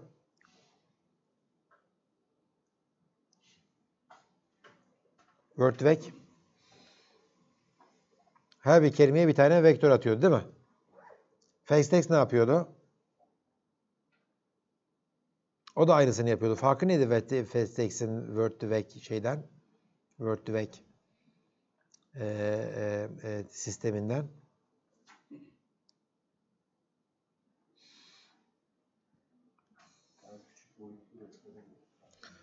Vektörler daha küçük boyutlu mu? Yok çok öyle değildi ya. Tamam güzel öyleydi ama nasıl çalışıyordu?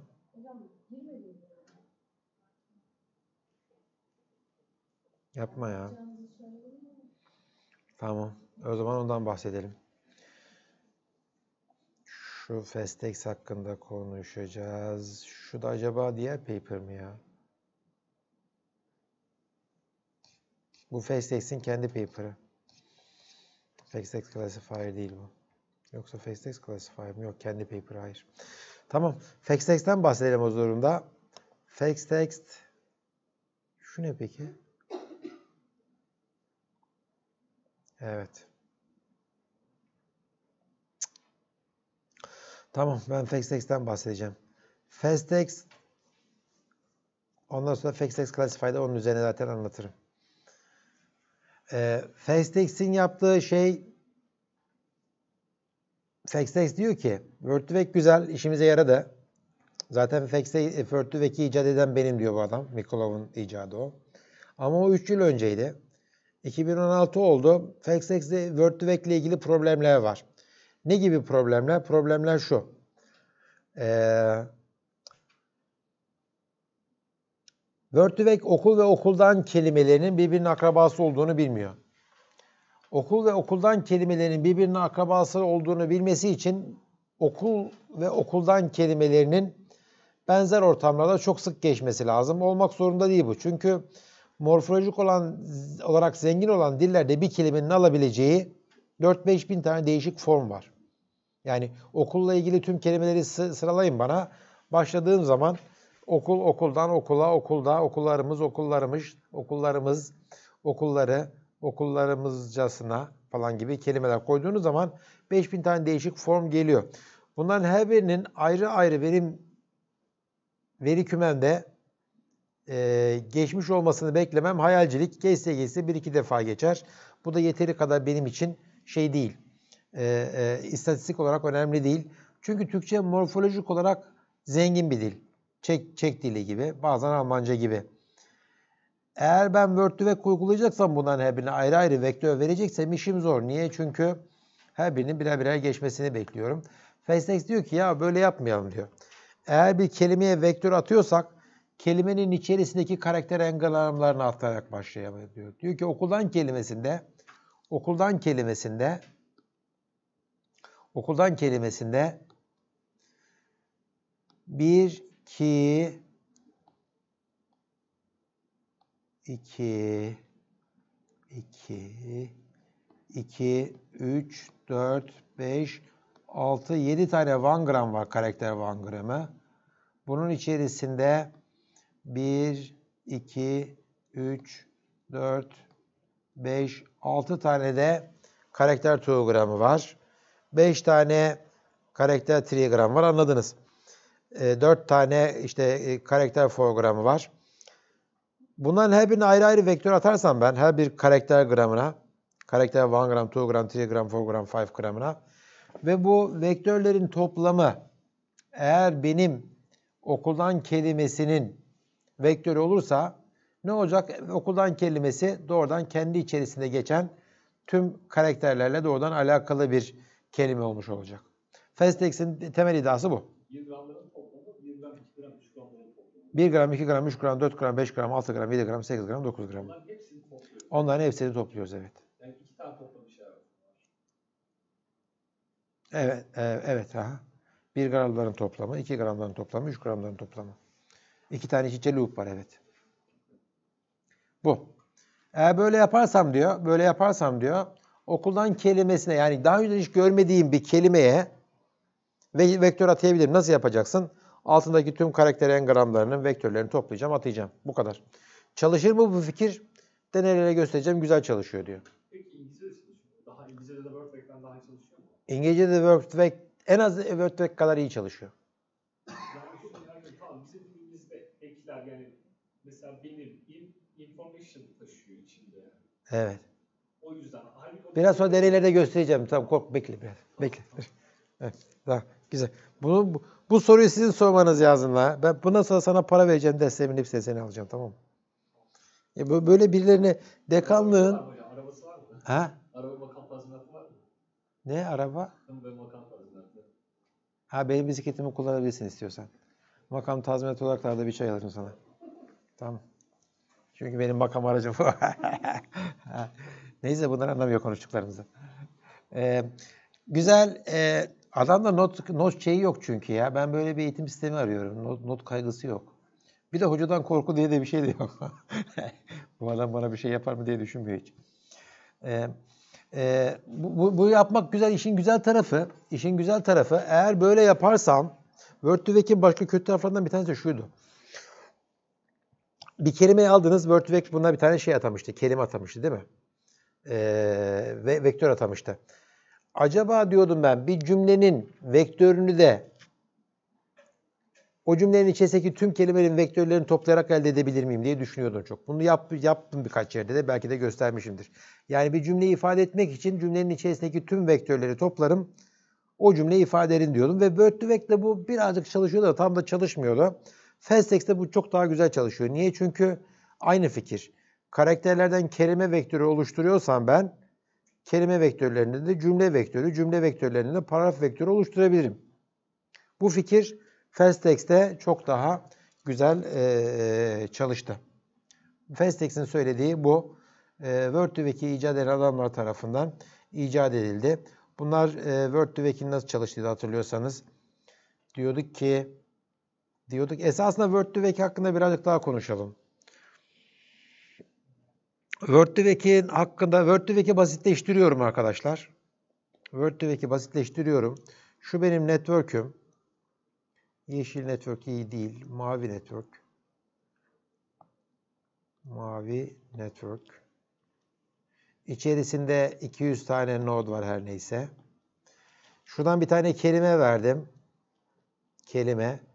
40 bin tane elemanı var. One hot vektör. Mesela vardı ya işte ben sabah okula koşarak giderim. Ben verildiği zaman sabah çıkacak bir sonraki kelime. Sabah verildiği zaman okula, okula verildiği zaman koşarak, koşarak verildiği zaman konteksten çıkıyor yani. Buradan bir şeyler veriyorum, buradan bir şeyler çıkıyor. Değil mi? Şimdi ben burada nasıl ifade edilecek? Ben muhtemelen şunların çoğu sıfıra yakın, bir tanesi 0.8 olan bir tane şey değil mi? Ee, kelime. Buradan da sabah mesela şu 0.7, diğerleri sıfıra yakın. Toplamı buranın da bir sıfır, buranın da bir sıfır. One hot encoding. Bu şekilde çalışıyor. Bu şekilde çalışıyor. Burada 200 tane node var. Burada ben 1 olduğu zaman burada sabahın 1 çıkmasını bekliyorum ben değil mi? Burada ben 1 olduğu zaman burada sabahın 1 çıkmasını bekliyorum. Burada eğer ben 1 iken buradaki 1, şuradaki rakam kaç tane node'a bağlı? 200 tanesine birden bağlı. Esasında bu 1 iken bu 1 iken şu nodlara gelen rakamlar 200 tane rakam. Diğerlerinin hepsi 0 olacağı için değil mi? Dolayısıyla ben kelimesine 200 boyutlu bir vektör atamış oluyorum. Bu tarafta da aynısı sabah için atanmış oluyor. Sabah için atanmış oluyor. Esasında yaptığım birazcık şuna benziyor. Yaptığım birazcık şuna benziyor.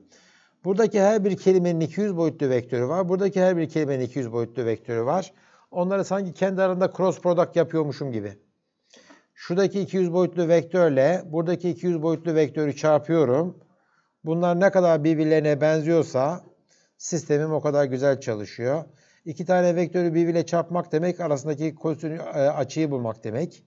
Aradaki açıyı bulmak demek bu vektörler birbirlerine ne kadar benziyor demek. Benle sabah birbirine ne kadar benzedi. Okulla koşmak birbirine ne kadar benzedi. Şunu şu ne kadar birbirine benzedi. Onlara bakıyoruz hepsine. Onlara bakıyoruz hepsine. Esasında şey çarpımı. Ne derler? E, vektör çarpımı. Word2Vec'in yaptığı bu. Bunu 4 kolon yapıyordu burada. Burada 4 kolon yapıyordu. Aynısını biz, aynısını biz, aynısını biz şeyle yapacağız. Ee, bana verilen, bana verilen, şunu silelim. Bana verilen bir tane kelimenin tüm karakter engramlarını aldım. G, W, W kontekst şu işte. Tüm karakter engramlarını aldım.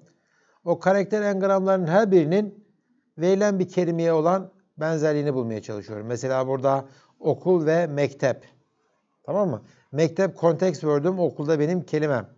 Kelimenin içerisindeki, okulun içerisindeki tüm karakter engramlarını birer birer alıp şu mekteple çarpıyorum ve bunların toplamı benim similaritim diyorum. Okulla mektep birbirine benzemiyor. Onlar birbirine benzetmek zorunda kalacağım. Dolayısıyla Word2Vec'in yaptığını yapmak zorunda. Okulla mektebe toplamında öyle bir vektör atamak zorunda ki bunlar birbirine benzeyecekler. Onu zaten yapmak zorunda. Bir de karakter engramlarını da benzetmek zorunda. Okul ve okuldan da mesela çok benzeyecek birbirine. Okul ve işte e, e, okumaktan gelen okuyan o da benzeyecek birbirine. Efendim? Okul ve mektebin zaten Word2Vec'in yaptığı gibi aynı yere düşmesi lazım. Diğer türlü optimizasyon olmayacak. Ama aynı zamanda okul ve oku, okul ve okumak, okul ve okuldan da benzer yerlere düşecek. Çünkü onların altlarındaki şeyler çok benziyor. Yani okulla mektebi benzetmek zorunda kalacak, okuldan ve mektebi de benzetmek zorunda kalacak bu durumda. O otomatik olarak okul ve okullarını birbirine benzetiyor. Tamam. Bunu optimize ettik. Yalnız burada ben size ufaktan yalan söyledim. 1 gram, 2 gram, 3 gram, 4 gram ta 10 grama kadar dedim ya. Sadece 3 gramla 6 gram arasına bakıyor. 3 gram ve 6 gram. Diğer arkadaşlar kapı, kulak, kulaklarını kapatsınlar öyle. ha. Karakterlerin taşıdığı information aslında karakterler hiçbir information taşımıyor bence. Evet, karakterler taşımıyor. Yani karakterler Sen benim söylediğimi duydun değil mi? 3 gramla 6 gram arasına bakıyor sadece. ama karakterlere bakarak oluşturulan bir matris kelimelere bakarak oluşturulan daha doludur, daha sparstır. Neural networklerde spars, o kadar çok sevmiyorlar. Evet. Sen bana ver diyor. Evet. Daha doğru yani. Bunun yaptığı daha doğru. Tamam. E soru sormadın ki sen bana. Soracağım bence bu sıkıntı. Yani bu, bu çalışması için bir sürü sebep var demek istiyorum. Çalışması için bir sürü sebep var ve üstelik de çalışıyor. Evet. Bir yanlışlık var bu işte. Bir yanlışlık var yani. Evet katılıyorum doğru. Çalışması gereken bir şeyin çalışması bir gariplik olduğunu gör. Demek ki bir şey yanlış düşünüyoruz. Yok çalışıyor gerçekten çok basit. Üstelik neyin çalışacağını da söyleyeyim ben size. Bu adamların paperlarında hani demiştim ya hani bir cümleyi ifade etmek için cümlenin içerisindeki tüm kelimelerin fast text vektörlerini topladığın zaman vektör ifade ediyor ya. Bir cümleyi alın, bir tane tweet'i alın. Fast text vektörünü ifade edin. Ondan sonra o tweet'in pozitif mi negatif mi olduğu ile ilgili bir tane SVM çalıştırın. SVM ya da ufak tek katmanlı bir neural network. O neural network 100-150 katmanlı LSTM tabanlı, RNN tabanlı networklerle aynı şeyde çalışıyor. Ee, performansta. Yani söyledikleri adam şey şu. Bu kadar basit bir sistem sadece karakter engramlarının toplanarak SVM'e verildiği ya da tek katmanlı bir neural network'e verildiği sistem işte dünyanın işte gelişmesini sağlanmış LSTM, RNN, işte e, ResNet tabanlı sistemlere kafa tutabiliyorsa bu katman işine bir daha baksanız iyi olur gibi bir conclusion'ları vardı. Yani katman sayısını arttırarak performans arttırdığını düşünüyorsunuz ama birdenbire bazı problem için karşınıza tek katmanlı sistemin de onlar kadar iyi çalışabileceğini gösteren insanlar çıkabilir. Hani senin söylediğinin devamı. Böyle bir conclusion'ları vardı o paper ama şimdi paper'ı bulamadım burada bir yerlerde. Yani ya da ben öyle okumak istiyordum onu. Ee, şurada yazıyordu arkadaşlar ya fast text bir dakika şöyle bulayım ben şunu. Fast text paper diye. Ara.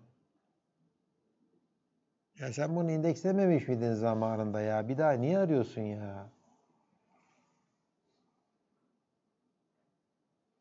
Onunla ilgili şey göstereceğim size. Aynı ya herkesi geçtiğini söylemiyor ama öyle bir performansı var ki onun diyor epok başına 2 saatte train ettiği sistemi ben diyor aynı performansı göstererek 1 saniye train ediyorum diyor. 2 saatine 1 saniye. Çünkü tek katmanlı bir şey. Neyse onu ararken ben size birazcık sonuç göstereyim. Sonuçta senin sorduğunla alakalı. Dört tane dile bakıyorlar. Almanca, İngilizce, Fransızca ve Çek dili. Çek dili çok popüler. Niye? Çünkü Türkçe gibi şeyler. E, morfolojik olarak e, zengin de bu tür şeyler ona bakıyorlar. E, üç değişik şeyleri var. E, data setleri var. Küçük, orta ve büyük. 100 milyon, 250 milyon, 200 milyon ve tüm Wikipedia. Out of vocabulary word demek daha önceden görmediği kaç tane kelime içeriyor. Skipgram ve e, continuous bag of words bunlar word to vec sonuçları.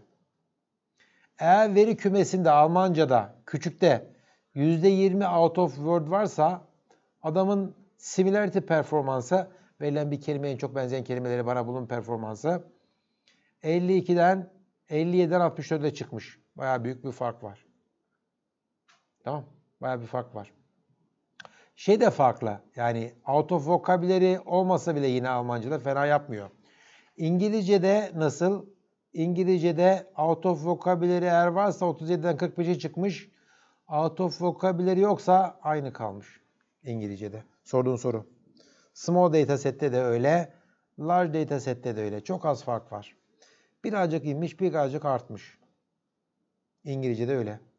Ama Çekçe'ye baktığın zaman out of vocabulary yüksek olduğu zaman yüksek, alçak olduğu zaman alçak olduğu zaman out of ya Çekçe'nin sadece bir tane var ya o da out of vocabulary'nin çok olduğu. Semantik hocam semantik. Ha? Şu en alttaki şeyin altındaki.